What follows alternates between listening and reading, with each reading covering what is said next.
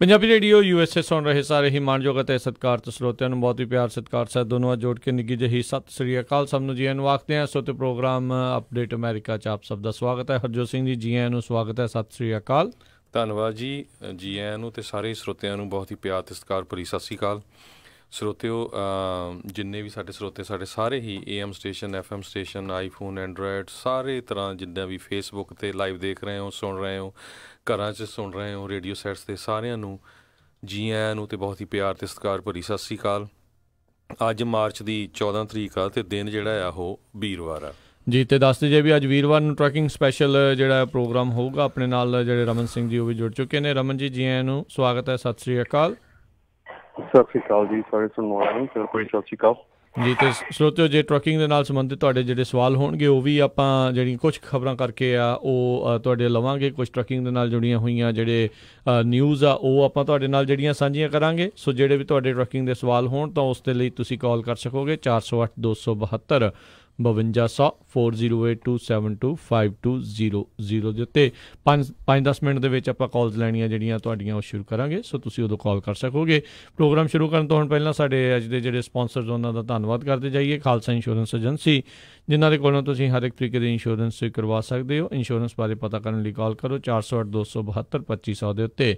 ਇਸ ਦੇ ਨਾਲ ਨਾਲ ਸੰਤੋਖ Singh, Paramjit Kaur Bassi Fremont, Manjit Singh, Narinder Kaur, Clark, Clovis Amarjit Singh, Stockton Karnail Singh Randhawa, Sacramento, Satnam Singh, Gurbinder Singh university Visalia ਪਰਿਵਾਰ Fresno Boota Singh Johal Lynwood ਤੇ coast Hyundai trailer dealership ਵਾਲੇ, ਜਿਨ੍ਹਾਂ ਨੇ ਆਪਣੀ ਨਵੀਂ ਲੋਕੇਸ਼ਨ ਫ੍ਰੈਜ਼ਨੋ ਦੇ ਵਿੱਚ ਖੋਲੀ ਹੋਈ ਆ। ਤੁਸੀਂ ਇਹਨਾਂ ਦੇ ਕੋਲੋਂ ਹੰਡਾਈ ਦੇ ਨਵੇਂ ਡਰਾਈਵ ਐਂਡ ਰੀਫਰ ਟ੍ਰੇਲਰਸ ਤੇ ਹੋਰ ਮੇਕ ਮਾਡਲਸ ਦੇ ਟ੍ਰੇਲਰਸ ਜਿਹੜੇ ਖਰੀਦ ਸਕਦੇ ਹੋ। ਫਾਈਨੈਂਸਿੰਗ ਵੀ ਕਰਦੇ ਨੇ। ਕਾਲ ਕਰੋ 909786 ਦੇ ਉੱਤੇ ਤੇ ਨਾਲ ਪੰਜਾਬੀਆਂ ਦੇ ਦੁਆਰਾ ਬਣਾਈ ਗਈ ਟਰੱਕਰਸ ਐਸੋਸੀਏਸ਼ਨ gonapta.org ਜਿਸ ਦੇ ਮੈਂਬਰ ਬਣਨ ਦੇ ਕਈ ਫਾਇਦੇ ਨੇ। ਉਸ ਦੇ ਬਾਰੇ ਜਾਣਕਾਰੀ ਲਈ ਇਹਨਾਂ ਦੀ ਵੈਬਸਾਈਟ ਵਿਜ਼ਿਟ ਕਰੋ। gonapta.org ਦੇ ਉੱਤੇ।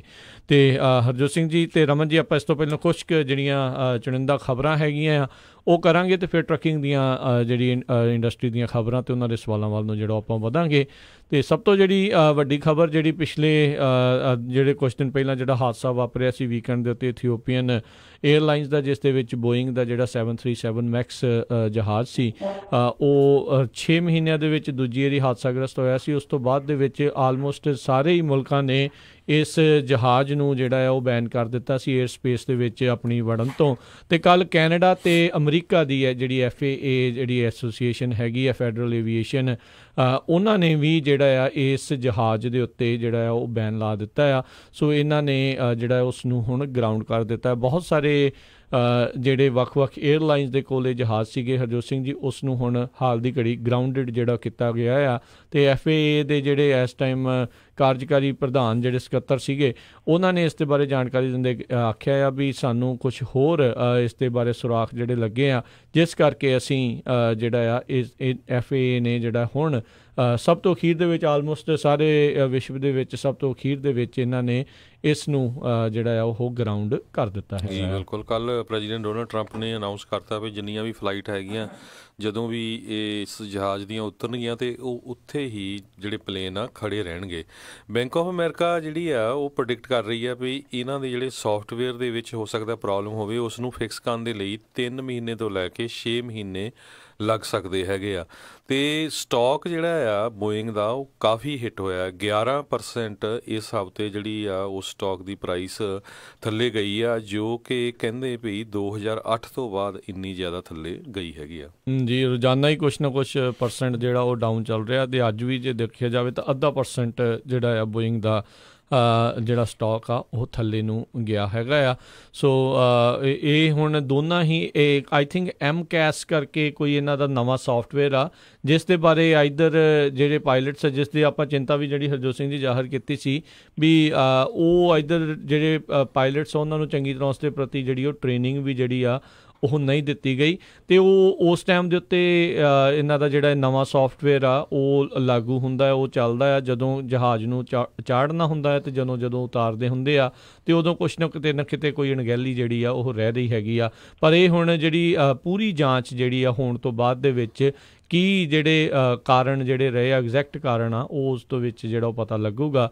ਤੇ ਹੁਣ ਅਗਲੀ ਜਿਹੜੀ ਕਹਿ ਲੋ ਵੀ ਅਗਲੀ ਤੱਕ ਜਿੰਨੀ ਦੇਰ ਤੱਕ ਐਫਏ ਵਾਲੇ ਇਸ ਨੂੰ ਦੁਬਾਰਾ ਉੱਡਣ ਦੇ ਲਈ ਸੇਫ ਜਿਹੜਾ ਉਹ ਨਹੀਂ ਕਹਿ ਦਿੰਦੇ, ਤਾਂ ਇਹ ਜਹਾਜ਼ ਕਿਤੇ ਨਾ ਕਿਤੇ ਜਿਹੜੇ ਚਿੱਟੇ ਹਾਥੀ ਬਣ ਕੇ ਜਿਹੜੇ ਆ ਜਿਹੜੇ ਹੈਂਗਰਸ ਦੇ ਵਿੱਚ ਆ, ਉਹ ਪਏ ਰਹਿਣਗੇ। ਤੇ ਬੋਇੰਗ ਨੂੰ ਓਵਰਆਲ ਜਿਹੜੇ ਮਿਲੀਅਨ ਬਿਲੀਅਨਸ ਆਫ ਡਾਲਰ ਦਾ ਜਿਹੜਾ ਘਾਟਾ ਵੀ ਜਿਹੜਾ ਨਾਲ ਦੇ ਨਾਲ ਚੱਲਣਾ ਪਵੇਗਾ। ਜੀ ਅਗਲੀ ਖਬਰ ਜਿਹੜੀ ਆਪਾਂ ਪਿਛਲੇ 2-3 ਦਿਨਾਂ ਤੋਂ ਸਾਂਝੀ ਕਰਦੇ ਆ ਰਹੇ ਹਾਂ ਵੀ ਕਿਸ ਤਰ੍ਹਾਂ ਜਿਹੜੇ ਹਾਈ ਫਾਈ ਜਿਹੜੇ ਕਾਲਜਸ ਯੂਨੀਵਰਸਿਟੀਆਂ ਹੈਗੀਆਂ ਆ, ਸਟੈਨਫੋਰਡ ਜੇਲ ਵਗੈਰਾ, ਉਹਨਾਂ ਦੇ ਵਿੱਚ ਕਿਸ ਤਰ੍ਹਾਂ ਅਮੀਰ ਲੋਕਾਂ ਨੇ ਪੈਸੇ ਦੇ ਕੇ ਬ੍ਰਾਈਬ ਕਰਕੇ ਜਿਹੜੇ ਆ ਐਸਏਟੀ ਸਕੋਰ ਉੱਪਰ ਲਿਜਾ ਕੇ ਝੂਠੇ ਜਿਹੜੇ ਕ੍ਰੈਡੈਂਸ਼ੀਅਲ ਬਣਾ ਕੇ ਆਪਣੇ ਬੱਚਿਆਂ ਨੂੰ ਐਡਮਿਸ਼ਨ ਦਵਾਏ ਤੇ ਹੁਣ ਉਹ ਯੂਨੀਵਰਸਿਟੀਆਂ ਦੇ ਅਗੇਂਸਟ ਕਈ ਸਟੂਡੈਂਟਸ ਨੇ ਲਾ ਸੂਟ ਫਾਈਲ ਕਰਨੇ ਸ਼ੁਰੂ ਕਰ ਦਿੱਤੇ ਆ। ਉਹ ਕਹਿੰਦੇ ਵੀ ਅਸੀਂ ਐਲੀਜੀਬਲ ਹੋਣਾ ਸੀ ਜੇ ਇਦਾਂ ਦੇ ਜਿਹੜੇ ਬੰਦੇ ਆ, ਸਿਫਾਰਸ਼ੀ ਬੰਦੇ ਜਿਹੜੇ ਯੂਨੀਵਰਸਿਟੀਆਂ 'ਚ ਨਾ ਆਦੇ ਨਾਰਥਰਨ ਕੈਲੀਫੋਰਨੀਆ ਦੀ ਫੈਡਰਲ ਕੋਰਟ ਦੇ ਵਿੱਚ ਦੋ ਸਟੂਡੈਂਟਸ ਨੇ ਸਟੈਨਫੋਰਡ ਯੂਨੀਵਰਸਿਟੀ ਦੇ ਅਗੇਂਸਟ ਆਲਰੇਡੀ ਲਾਸੂਟ ਫਾਈਲ ਕਰ ਦਿੱਤਾ ਹੈਗਾ ਜੀ ਜੀ, ਬਿਲਕੁਲ। ਸੋ ਇਹ ਤਾਂ ਜਿਹੜਾ ਹਰਜੋਤ ਸਿੰਘ ਜੀ ਗੱਲ ਮੰਨਣੀ ਹੋਈ ਸੀ, ਇਹ ਤਾਂ ਹੋਣਾ ਹੀ ਸੀਗਾ ਇਨ ਦੀ ਐਂਡ ਕਿਉਂਕਿ ਆਲਰੇਡੀ ਦੇਖੋ ਬਹੁਤ ਸਾਰੇ ਲੋਕ ਗੱਲ ਕਰ ਰਹੇ ਜਿਹੜੇ ਖਾਸ ਕਰਕੇ ਮਿਨੋਰਟੀਆਂ ਵਾਲੇ ਗੱਲ ਕਰਦੇ ਵੀ ਭਾਈ ਤੁਹਾਡੇ ਹੱਕ ਦੇ ਵਿੱਚ ਤਾਂ ਪਹਿਲਾਂ ਹੀ ਬੜਾ ਕੁਝ ਜਿਹੜਾ ਉਹ ਚੱਲਦਾ ਆ। ਤੇ ਤੁਸੀਂ ਅਖੀਰ ਦੇ ਵਿੱਚ ਆ ਕੇ ਜੇ ਕੇਪੇਬਲ ਨਹੀਂ ਹੋ ਤਾਂ ਪੈਸੇ ਦੇ ਕੇ ਤੇ ਤੁਸੀਂ ਉਹ ਵੱਡੀਆਂ ਯੂਨੀਵਰਸਿਟੀਆਂ ਦੇ ਵਿੱਚ ਐਡਮਿਸ਼ਨਾਂ ਜਿਹੜੀਆਂ ਉਹ ਕਰਾ ਰਹੇ ਹੋ। ਤੇ ਯੂਨੀਵਰਸਿਟੀਆਂ ਵੀ ਹੁਣ ਇਸ ਦਾ ਜਿਹੜਾ ਚੰਗਾ ਇਹਨਾਂ ਨੂੰ ਕਹਿ ਲੋ ਵੀ ਸਾਹਮਣਾ ਕਰਨਾ ਪਊਗਾ, ਲੋਕਾਂ ਦੇ ਗੁੱਸੇ ਦਾ ਵੀ, ਤੇ ਕਿਤੇ ਨਾ ਕਿਤੇ ਜਿਹੜੇ ਇਹਨਾਂ ਦੇ ਫਾਈਨਸ ਤੇ ਹੋਰ ਬਹੁਤ ਕੁਝ ਜਿਹੜਾ ਇਸ ਦੇ ਉੱਤੇ ਜਿਹੜਾ ਹੋ ਸਕਦਾ ਹੈ ਵੀ, ਇਹ ਕਾਲਜ ਦੇ ਵਿੱਚ ਐਡੇ ਵੱਡੇ ਪੈਮਾਨੇ ਦੇ ਉੱਤੇ ਜਿਹੜੇ ਸਕੈਂਡਲ ਆ, ਉਹ ਚੱਲ ਰਹੇ ਸੀ। ਤੇ ਇਸ ਟਾਈਮ ਬਹੁਤ ਸਾਰੇ ਜਿਹੜੇ ਅਮੀਰ ਲੋਕ ਜਿਨ੍ਹਾਂ ਨੇ ਇਸ ਤਰੀਕੇ ਦੇ ਨਾਲ ਕੀਤਾ ਹੋਊਗਾ, ਜਿਨ੍ਹਾਂ ਦਾ ਜੇ ਇਸ ਦੇ ਵਿੱਚ ਨਾਮ ਨਹੀਂ ਵੀ ਆਇਆ ਹੋਊਗਾ, ਉਹ ਵੀ ਕਿਤੇ ਨਾ ਕਿਤੇ ਜਿਹੜਾ ਉਹ ਡਰ ਰਹੇ ਹੋਣਗੇ। ਸੋ ਕਿਤੇ ਨਾ ਕਿਤੇ ਕਾਫੀ ਵੱਡੇ ਪੈਮਾਨੇ ਦੇ ਉੱਤੇ ਹਰਜੋਤ ਸਿੰਘ ਜੀ, ਇਹਨਾਂ ਕਾਲਜਾਂ ਯੂਨੀਵਰਸਿਟੀਆਂ ਦਾ ਜਿਹੜਾ ਆਡਿਟ ਆ, ਉਹ ਹੁਣ ਹੋਵੇਗਾ ਉਹਨਾਂ ਦੀ ਖਾਸ ਕਰਕੇ ਐਡਮਿਸ਼ਨਸ ਨੂੰ ਲੈ ਕੇ। ਤੇ ਅਗਲੀ ਜਿਹੜੀ ਗੱਲ ਕਰਦੇ ਆ ਜਿਹੜਾ ਬੈਟੋ ਰੁਕੇ ਜਿਨ੍ਹਾਂ ਨੇ ਜਿਹੜੇ ਇੱਕ ਇਲੈਕਸ਼ਨ ਜਿਹੜੀ ਉਹ ਰਨ ਕੀਤੀ ਸੀਗੀ, ਸੈਨੇਟ ਦੀ ਜਿਹੜੀ ਇਲੈਕਸ਼ਨ ਰਨ ਕੀਤੀ ਸੀ, ਜਿਸ ਦੇ ਵਿੱਚ ਉਹ ਹਾਰ ਤਾਂ ਗਏ ਸੀਗੇ। ਪਰ ਉਹਨਾਂ ਨੇ ਜਿਹੜਾ ਅੱਜ ਅਨਾਉਂਸ ਕਰ ਦਿੱਤਾ ਵੀ ਉਹ ਡੈਮੋਕ੍ਰੇਟ ਪਾਰਟੀ ਦੇ ਵੱਲੋਂ ਉਹ ਵੀ ਪ੍ਰੈਜ਼ੀਡੈਂਸ਼ੀਅਲ ਜਿਹੜੇ ਇਸ ਮੈਦਾਨ ਦੇ ਵਿੱਚ ਕੁੱਦ ਗਏ ਨੇ। ਤੇ ਉਹਨਾਂ ਨੇ ਅਫੀਸ਼ੀਅਲੀ ਜਿਹੜਾ ਆ ਕਹਿੰਦੇ ਆ ਵੀ ਹੁਣ ਇਸ ਕੈਂਪੇਨ ਦੇ ਵਿੱਚ ਉਹ ਆ ਗਏ ਨੇ। ਤੇ ਡੈਮੋਕ੍ਰੇਟ ਪਾਰਟੀ ਦਾ ਇਹ ਜਿਹੜਾ ਮੈਦਾਨ ਆ, ਲਗਾਤਾਰ ਖਚਾ ਖਚ ਜਿਹੜਾ ਆ ਉਹ ਭਰਦਾ ਜਾ ਰਿਹਾ ਹੈਗਾ ਆ। ਅਗਲੀ ਖਬਰ ਜਿਹੜੀ ਆ ਸੈਂਟਰਲ ਯੂਐਸਏ ਦੇ ਵਿੱਚ ਇੱਕ ਤਰ੍ਹਾਂ ਨਾਲ ਸਾਈਕਲੋਨ ਜਿਸ ਦਾ ਨਾਮ ਬੰਬ ਸਾਈਕਲੋਨ ਦੱਸਿਆ ਗਿਆ ਆ। ਕਹਿੰਦੇ ਵੀ ਇੰਨਾ ਖਤਰਨਾਕ ਆਇਆ ਜਿਹਦੇ ਵਿੱਚ 11000 1100 ਮੋਟਰਿਸਟ ਕਾਰਾਂ ਸਮੇਤ ਉਹਦੇ ਵਿੱਚ ਘਿਰ ਗਏ। ਇਹ ਅੱਜ ਸਵੇਰ ਦੀ ਖਬਰ ਹੈਗੀ ਆ ਕੋਲੋਰਾਡੋ ਤੋਂ। ਤੇ ਕਹਿੰਦੇ 74 ਮਿਲੀਅਨ ਲੋਕ ਜਿਹੜੇ ਆ, ਇਹਦੇ ਉੱਤੇ ਇਹਨਾਂ ਦਾ ਜਿਹੜਾ ਵੈਦਰ ਹੁਣ ਆ ਰਿਹਾ, ਬਲਿਜ਼ਰਡ ਆ ਰਹੀ ਆ ਕੰਡੀਸ਼ਨਸ ਤੇ ਬਹੁਤ ਭਾਰੀ ਮੀਂਹ ਆ ਰਿਹਾ ਤੇ ਫਲੱਡਿੰਗ ਹੋ ਰਹੀ ਆ, ਉਹ ਅਫੈਕਟ ਕਰੇਗਾ 74 ਮਿਲੀਅਨ ਲੋਕਾਂ ਨੂੰ। ਕੋਲੋਰਾਡੋ ਦੇ ਗਵਰਨਰ ਜੈਰਡ ਪੌਲਸ ਨੇ ਸਟੇਟ ਆਫ ਐਮਰਜੈਂਸੀ ਡਿਕਲੇਅਰ ਕਰ ਦਿੱਤੀ ਆ ਤੇ ਉਹਨਾਂ ਨੇ ਟਵੀਟ ਕੀਤਾ ਹੈ ਨੈਸ਼ਨਲ ਗਾਰਡਸ ਜਿਹੜੇ ਆ, ਉਹਨਾਂ ਨੂੰ ਐਕਟੀਵੇਟ ਕਰ ਦਿੱਤਾ ਗਿਆ ਆ। 86000 ਤੋਂ ਵੱਧ ਲੋਕਾਂ ਦੀ ਜਿਹੜੀ ਬਿਜਲੀ ਆ ਆਲਰੇਡੀ ਕੋਲੋਰਾਡੋ ਦੇ ਵਿੱਚ ਚਲੇ ਗਈ ਆ 47 20000 ਜਿਹੜੇ ਲੋਕ ਹੈਗੇ ਆ ਨਿਊ ਮੈਕਸੀਕੋ ਦੇ ਵਿੱਚ ਤੇ ਨਾਰਥਰਨ ਟੈਕਸਸ ਦੇ ਵਿੱਚ ਉਹ ਬਿਜਲੀ ਤੋਂ ਬਿਨਾ ਇਸ ਵੇਲੇ ਘਰਾਂ 'ਚ ਬੈਠੇ ਹੋਏ ਆ। ਜੀ। ਅਗਲੀ ਜਿਹੜੀ ਗੱਲ ਕਰਦੇ ਆ ਜਿਹੜੀ ਯੂਐਸ ਦਾ ਜਿਹੜਾ ਹਾਊਸ ਆ, ਉਸ ਨੇ ਜਿਹੜੀ ਬਾਈ ਪਾਰਟੀਜ਼ਨ ਓਵਰਵੈਲਮਿੰਗ ਮੈਜੋਰਟੀ ਦੇ ਨਾਲ ਜਸਟਿਸ ਡਿਪਾਰਟਮੈਂਟ ਨੂੰ ਜਿਹੜੀ ਉਹ ਬੇਨਤੀ ਕੀਤੀ ਹੈ ਵੀ ਜਿਹੜੀ ਰਾਬਰਟ ਮਿਊਲਰ ਦੀ ਇਨਵੈਸਟੀਗੇਸ਼ਨ ਰਿਪੋਰਟ ਆ, ਉਸ ਨੂੰ ਜਨਤਕ ਕੀਤਾ ਜਾਵੇ। ਸੋ 420 ਦੇ ਵੀ ਜਿਹੜੇ ਰਿਪਰੈਜ਼ੈਂਟੇਟਿਵਸ ਆ, ਉਹਨਾਂ ਨੇ ਇਸ ਦੇ ਹੱਕ ਦੇ ਵਿੱਚ ਪਾਇਆ। ਕਿਸੇ ਨੇ ਵੀ ਇਸ ਦੇ ਜਿਹੜੇ ਆ ਅਗੇਂਸਟ ਜਿਹੜੀ ਵੋਟ ਨਹੀਂ ਪਾਈ। ਤੇ ਇਹ ਜਿਹੜਾ ਕਲੀਅਰ ਸਿਗਨਲ ਇੱਕ ਜਿਹੜੇ ਰਿਪਰੈਜ਼ੈਂਟੇਟਿਵ ਆ, ਚਾਹੇ ਰਿਪਬਲਿਕਨ ਆ, ਚਾਹੇ ਉਹ ਡੈਮੋਕ੍ਰੇਟਸ ਆ, ਉਹਨਾਂ ਨੇ ਜਿਹੜਾ ਉਹ ਦਿੱਤਾ ਹੈ ਰਾਸ਼ਟਰਪਤੀ ਟਰੰਪ ਨੂੰ ਵੀ ਵੀ ਇਸ ਦੇ ਉੱਤੇ ਕਿਸੇ ਤਰੀਕੇ ਦੀ ਜਿਹੜੀ ਰੋਕ ਆ, ਉਹ ਲਾਉਣ ਦੀ ਜਿਹੜੀ ਕੋਸ਼ਿਸ਼ ਇੱਕ ਹਿਸਾਬ ਦੇ ਨਾਲ ਜਿਹੜੀ ਉਹ ਨਾ ਕੀਤੀ ਜਾਵੇ ਤੇ ਜਿਹੜੀ ਇਸ ਰਿਪੋਰਟ ਆ, ਉਸ ਨੂੰ ਜਨਤਕ ਕੀਤਾ ਜਾਵੇ। ਤੇ ਉਧਰ ਜਿਹੜਾ ਹਰਜੋਤ ਸਿੰਘ ਜੀ ਸੈਨੇਟ ਵੀ ਜਿਹੜੀ ਹੁਣ ਕਿਤੇ ਨਾ ਕਿਤੇ ਅੱਜ ਸੈਨੇਟ ਦੇ ਵਿੱਚ ਜਿਹੜਾ ਰਾਸ਼ਟਰਪਤੀ ਟਰੰਪ ਦੇ ਵੱਲੋਂ ਐਮਰਜੈਂਸੀ ਡਿਕਲੇਅਰ ਕੀਤੀ ਗਈ ਆ ਉਸ ਨੂੰ ਜਿਹੜਾ ਕਹਿ ਲੋ ਵੀ ਖਾਰਜ ਕਰਨ ਵਾਲੀ ਇੱਕ ਜਿਹੜੀ ਮਤਾ ਆ, ਉਹ ਸੈਨੇਟ ਦੇ ਵਿੱਚ ਪੇਸ਼ ਹੋਵੇਗਾ ਤੇ ਸੈਨੇਟ ਦੇ ਵਿੱਚ ਉਸ ਤੇ ਪਾਸ ਹੋਣ ਦੀ ਉਮੀਦ ਬਣੀ ਹੋਈ ਹੈ ਕਿਉਂਕਿ ਕਈ ਰਿਪਬਲਿਕਨਸ ਜਿਹੜੀ ਨੈਸ਼ਨਲ ਐਮਰਜੈਂਸੀ ਬਾਰਡਰ ਨੂੰ ਲੈ ਕੇ ਡਿਕਲੇਅਰ ਕੀਤੀ, ਰਾਸ਼ਟਰਪਤੀ ਟਰੰਪ ਨੇ ਉਸ ਦੇ ਹੱਕ ਦੇ ਵਿੱਚ ਨਹੀਂ ਸੀਗੇ ਉਸ ਦੇ ਅਗੇਂਸਟ ਸੀਗੇ। ਤੇ ਇਸ ਕਰਕੇ ਇਦਾਂ ਲੱਗ ਰਿਹਾ ਵੀ ਰਾਸ਼ਟਰਪਤੀ ਟਰੰਪ ਪਹਿਲਾ ਜਿਹੜਾ ਵਿਰੋਧ ਵਾਲਾ ਪਹਿਲਾ ਜਿਹੜਾ ਉਹ ਵੀਟੋ ਆਪਣੀ ਪਾਵਰ ਆ ਉਸ ਨੂੰ ਇਸਤੇਮਾਲ ਜਿਹੜੇ ਅੱਜ ਕਰ ਸਕਦੇ ਨੇ, ਜੇ ਉਹ ਸੈਨੇਟ ਦੇ ਵਿੱਚ ਉਹ ਮਤਾ ਪਾਸ ਹੋ ਜਾਂਦਾ ਹੈਗਾ ਬ੍ਰਿਟਿਸ਼ ਬ੍ਰਿਟੇਨ ਤੋਂ ਖਬਰ ਆ ਰਹੀ ਹੈ, ਕਹਿੰਦੇ ਵੀ 1972 ਦੇ ਵਿੱਚ ਇੱਕ ਬ੍ਰਿਟਿਸ਼ ਪੈਰਾ ਟਰੂਪਰ ਨੇ ਜਿਹੜੇ ਅਨਆਰਮਡ ਪ੍ਰੋਟੈਸਟਰ ਸੀ, ਇੱਕ ਪ੍ਰੋਟੈਸਟ ਕਰ ਰਹੇ ਸੀ ਨਾਰਥਰਨ ਆਈਲੈਂਡ ਦੇ ਵਿੱਚ, ਬਿਨਾਂ ਕਿਸੇ ਹਥਿਆਰਾਂ ਤੋਂ ਤੇ ਗੋਲੀਆਂ ਚਲਾ ਕੇ ਦੋ ਲੋਕਾਂ ਨੂੰ ਮਾਰ ਦਿੱਤਾ ਗਿਆ ਸੀ, ਜਿਸ ਦਾ ਨਾਮ ਬਲੱਡੀ ਸੰਡੇ ਕਰਕੇ ਜਾਣਿਆ ਜਾਂਦਾ। ਤੇ ਹੁਣ ਉਸ ਨੂੰ ਇੰਨੇ ਸਾਲਾਂ ਬਾਅਦ ਜਾ ਕੇ ਜਿਹੜਾ ਆ, ਉਸ ਜਿਹੜਾ ਬ੍ਰਿਟਿਸ਼ ਸੋਲਜਰ ਆ, ਉਹਨੂੰ ਪ੍ਰੋਸੀਕਿਊਟ ਕੀਤਾ ਜਾ ਰਿਹਾ ਹੈਗਾ। ਹੂੰ, ਜੀ ਜੀ, ਬਿਲਕੁਲ। ਤੇ ਇਹ ਸੀਗੀਆਂ ਜਿਹੜੀਆਂ ਆਪਣੀਆਂ ਹਰਜੋਤ ਸਿੰਘ ਜੀ ਕੁਝ ਜਿਹੜੀਆਂ ਅਹਿਮ ਖਬਰਾਂ, ਜੋ ਕੁਝ ਵੀ ਜਿਹੜਾ ਰਾਜਨੀਤਿਕ ਸਤਰ ਦੇ ਉੱਤੇ ਅਮਰੀਕਾ ਦੇ ਵਿੱਚ ਜਿਹੜਾ ਮੇਨ ਪੱਧਰ ਦੇ ਉੱਤੇ ਜਿਹੜਾ ਚੱਲ ਰਿਹਾ ਆ, ਤੇ ਹੁਣ ਜਿਹੜੀਆਂ ਆਪਾਂ ਟਰੈਕਿੰਗ ਦੀਆਂ ਜਿਹੜੀਆਂ ਖਬਰਾਂ ਆ, ਉਸ ਦੇ ਉੱਤੇ ਨਜ਼ਰ ਮਾਰਨੀ ਜਿਹੜੀ ਉਹ ਸ਼ੁਰੂ ਕਰਾਂਗੇ। ਤੇ ਰਮਨ ਜੀ, ਅੱਜ ਜਿਹੜੀ ਆਪਣੀ ਮੁੱਖ ਜਿਹੜਾ ਵਿਸ਼ਾ ਆ, ਉਹ ਡਰੱਗ ਅਲਕੋਹਲ ਜਿਹੜਾ, ਜਿਹੜੀ ਖਾਸ ਕਰਕੇ ਜਿਹੜਾ ਚੱਲਦਾ ਆ ਟੈਸਟਿੰਗ ਵਗੈਰਾ ਜਿਹੜੀ ਉਹ ਹੁੰਦੀ ਆ ਉਸ ਨੂੰ ਲੈ ਕੇ ਜਿਹੜਾ ਹੋਊਗਾ। ਸੋ ਇਹ ਜਿਹੜਾ drug and alcohol clearing house ਜਿਹੜਾ ਇੱਕ ਹੈਗੀ ਆ ਇੱਕ ਜਿਹੜਾ ਟਰਮ ਹੈਗੀ ਆ, ਇਸ ਦੇ ਬਾਰੇ ਜਿਹੜਾ ਜ਼ਰੂਰ ਜਿਹੜੇ ਆਪਣੇ ਜਿਹੜੇ ਖਾਸ ਕਰਕੇ ਟਰੱਕਰਸ ਆ, ਉਹਨਾਂ ਦੇ ਨਾਲ ਜਿਹੜੀ ਉਹ ਜਾਣਕਾਰੀ ਸਾਂਝੀ ਕੀਤੀ ਜਾਵੇ। ਬਿਲਕੁਲ ਜੀ, ਇਹ ਜਿਹੜਾ drug and alcohol clearing house ਹੈਗਾ, ਇਹ ਰੂਲ ਇੰਪਲੀਮੈਂਟ ਹੋਇਆ ਸੀਗਾ ਤੇ ਇਹ ਜਨਵਰੀ 4 2020 2020 ਦੇ ਵਿੱਚ ਇਹ ਜਿਹੜਾ ਸ਼ੁਰੂ ਹੋ ਜਾਣਾ ਆ। ਸੋ ਇਹ ਇੱਕ ਇਲੈਕਟ੍ਰੋਨਿਕ ਡਾਟਾਬੇਸ ਬਣਾਇਆ ਜਾ ਰਿਹਾ ਜਿਹੜਾ ਕਿ ਉਹਦੇ ਜਿਹੜਾ ਕਿ ਡਰੱਗ ਐਂਡ ਅਲਕੋਹਲ ਟੈਸਟ ਦਾ ਜਿਹੜਾ ਰਿਜ਼ਲਟਸ ਹੈਗੇ ਆ, ਉਹ ਸਾਰੇ ਜਿਹੜੇ ਇਲੈਕਟ੍ਰੋਨਿਕਲੀ ਅਵੇਲੇਬਲ ਹੋਣਗੇ EMPLOYERS ਨੂੰ ਫਿਊਚਰ EMPLOYERS ਨੂੰ ਕਰੰਟ EMPLOYERS ਨੂੰ ਏਜੰਸੀਜ਼ ਨੂੰ ਜਿਹੜੀਆਂ ਡੀਐਮਪੀ ਹੈਗੀਆਂ ਜਾਂ ਜਿਹੜੀਆਂ ਆਪਣੀਆਂ ਫੈਡਰਲ ਏਜੰਸੀਜ਼ ਹੈਗੀਆਂ ਸੋ ਇਹਨਾਂ ਸਾਰਿਆਂ ਨੂੰ ਜਿਹੜਾ ਇਹ ਰੈਕਡ ਜਿਹੜਾ ਆ, ਇਹ ਅਵੇਲੇਬਲ ਹੋਊਗਾ। ਇਹਦੇ ਵਿੱਚ ਪੂਰਾ ਡਰੱਗ ਟੈਸਟ ਦਾ ਰਿਜ਼ਲਟ ਰਿਫਿਊਜ਼ਲ ਜੇ ਕਿਸੇ ਨੇ ਰਿਫਿਊਜ਼ ਕੀਤਾ ਡਰੱਗ ਟੈਸਟ ਲੈਣ ਨੂੰ ਵਾਇਲੇਸ਼ਨਸ ਉਹਦੀਆਂ ਰਿਟਰਨ ਟੂ ਡਿਊਟੀ ਪ੍ਰੋਸੈਸ ਜੇ ਕਿਸੇ ਦਾ ਪੋਜ਼ਿਟਿਵ ਆ ਆ ਜਾਂਦਾ ਆ, ਉਸ ਤੋਂ ਬਾਅਦ ਉਹਨਾਂ ਦੀ ਜੀਡੀਪੀ ਉਹਨਾਂ ਨੂੰ ਉਹਨਾਂ ਨੇ ਦਿੱਤਾ ਆ ਪ੍ਰੋਸੈਸ ਕਿ ਤੁਸੀਂ ਵਾਪਸ ਜੌਬ ਤੇ ਜਾਣ ਤੋਂ ਪਹਿਲਾਂ ਤੁਹਾਨੂੰ ਆਹ ਜਿਹੜਾ ਪ੍ਰੋਸੈਸ ਹੈਗਾ ਇਹ ਪੂਰਾ ਕਰਨਾ ਪੈਣਾ। ਉਹ ਸਾਰਾ return to duty duty process ਜਿਹੜਾ,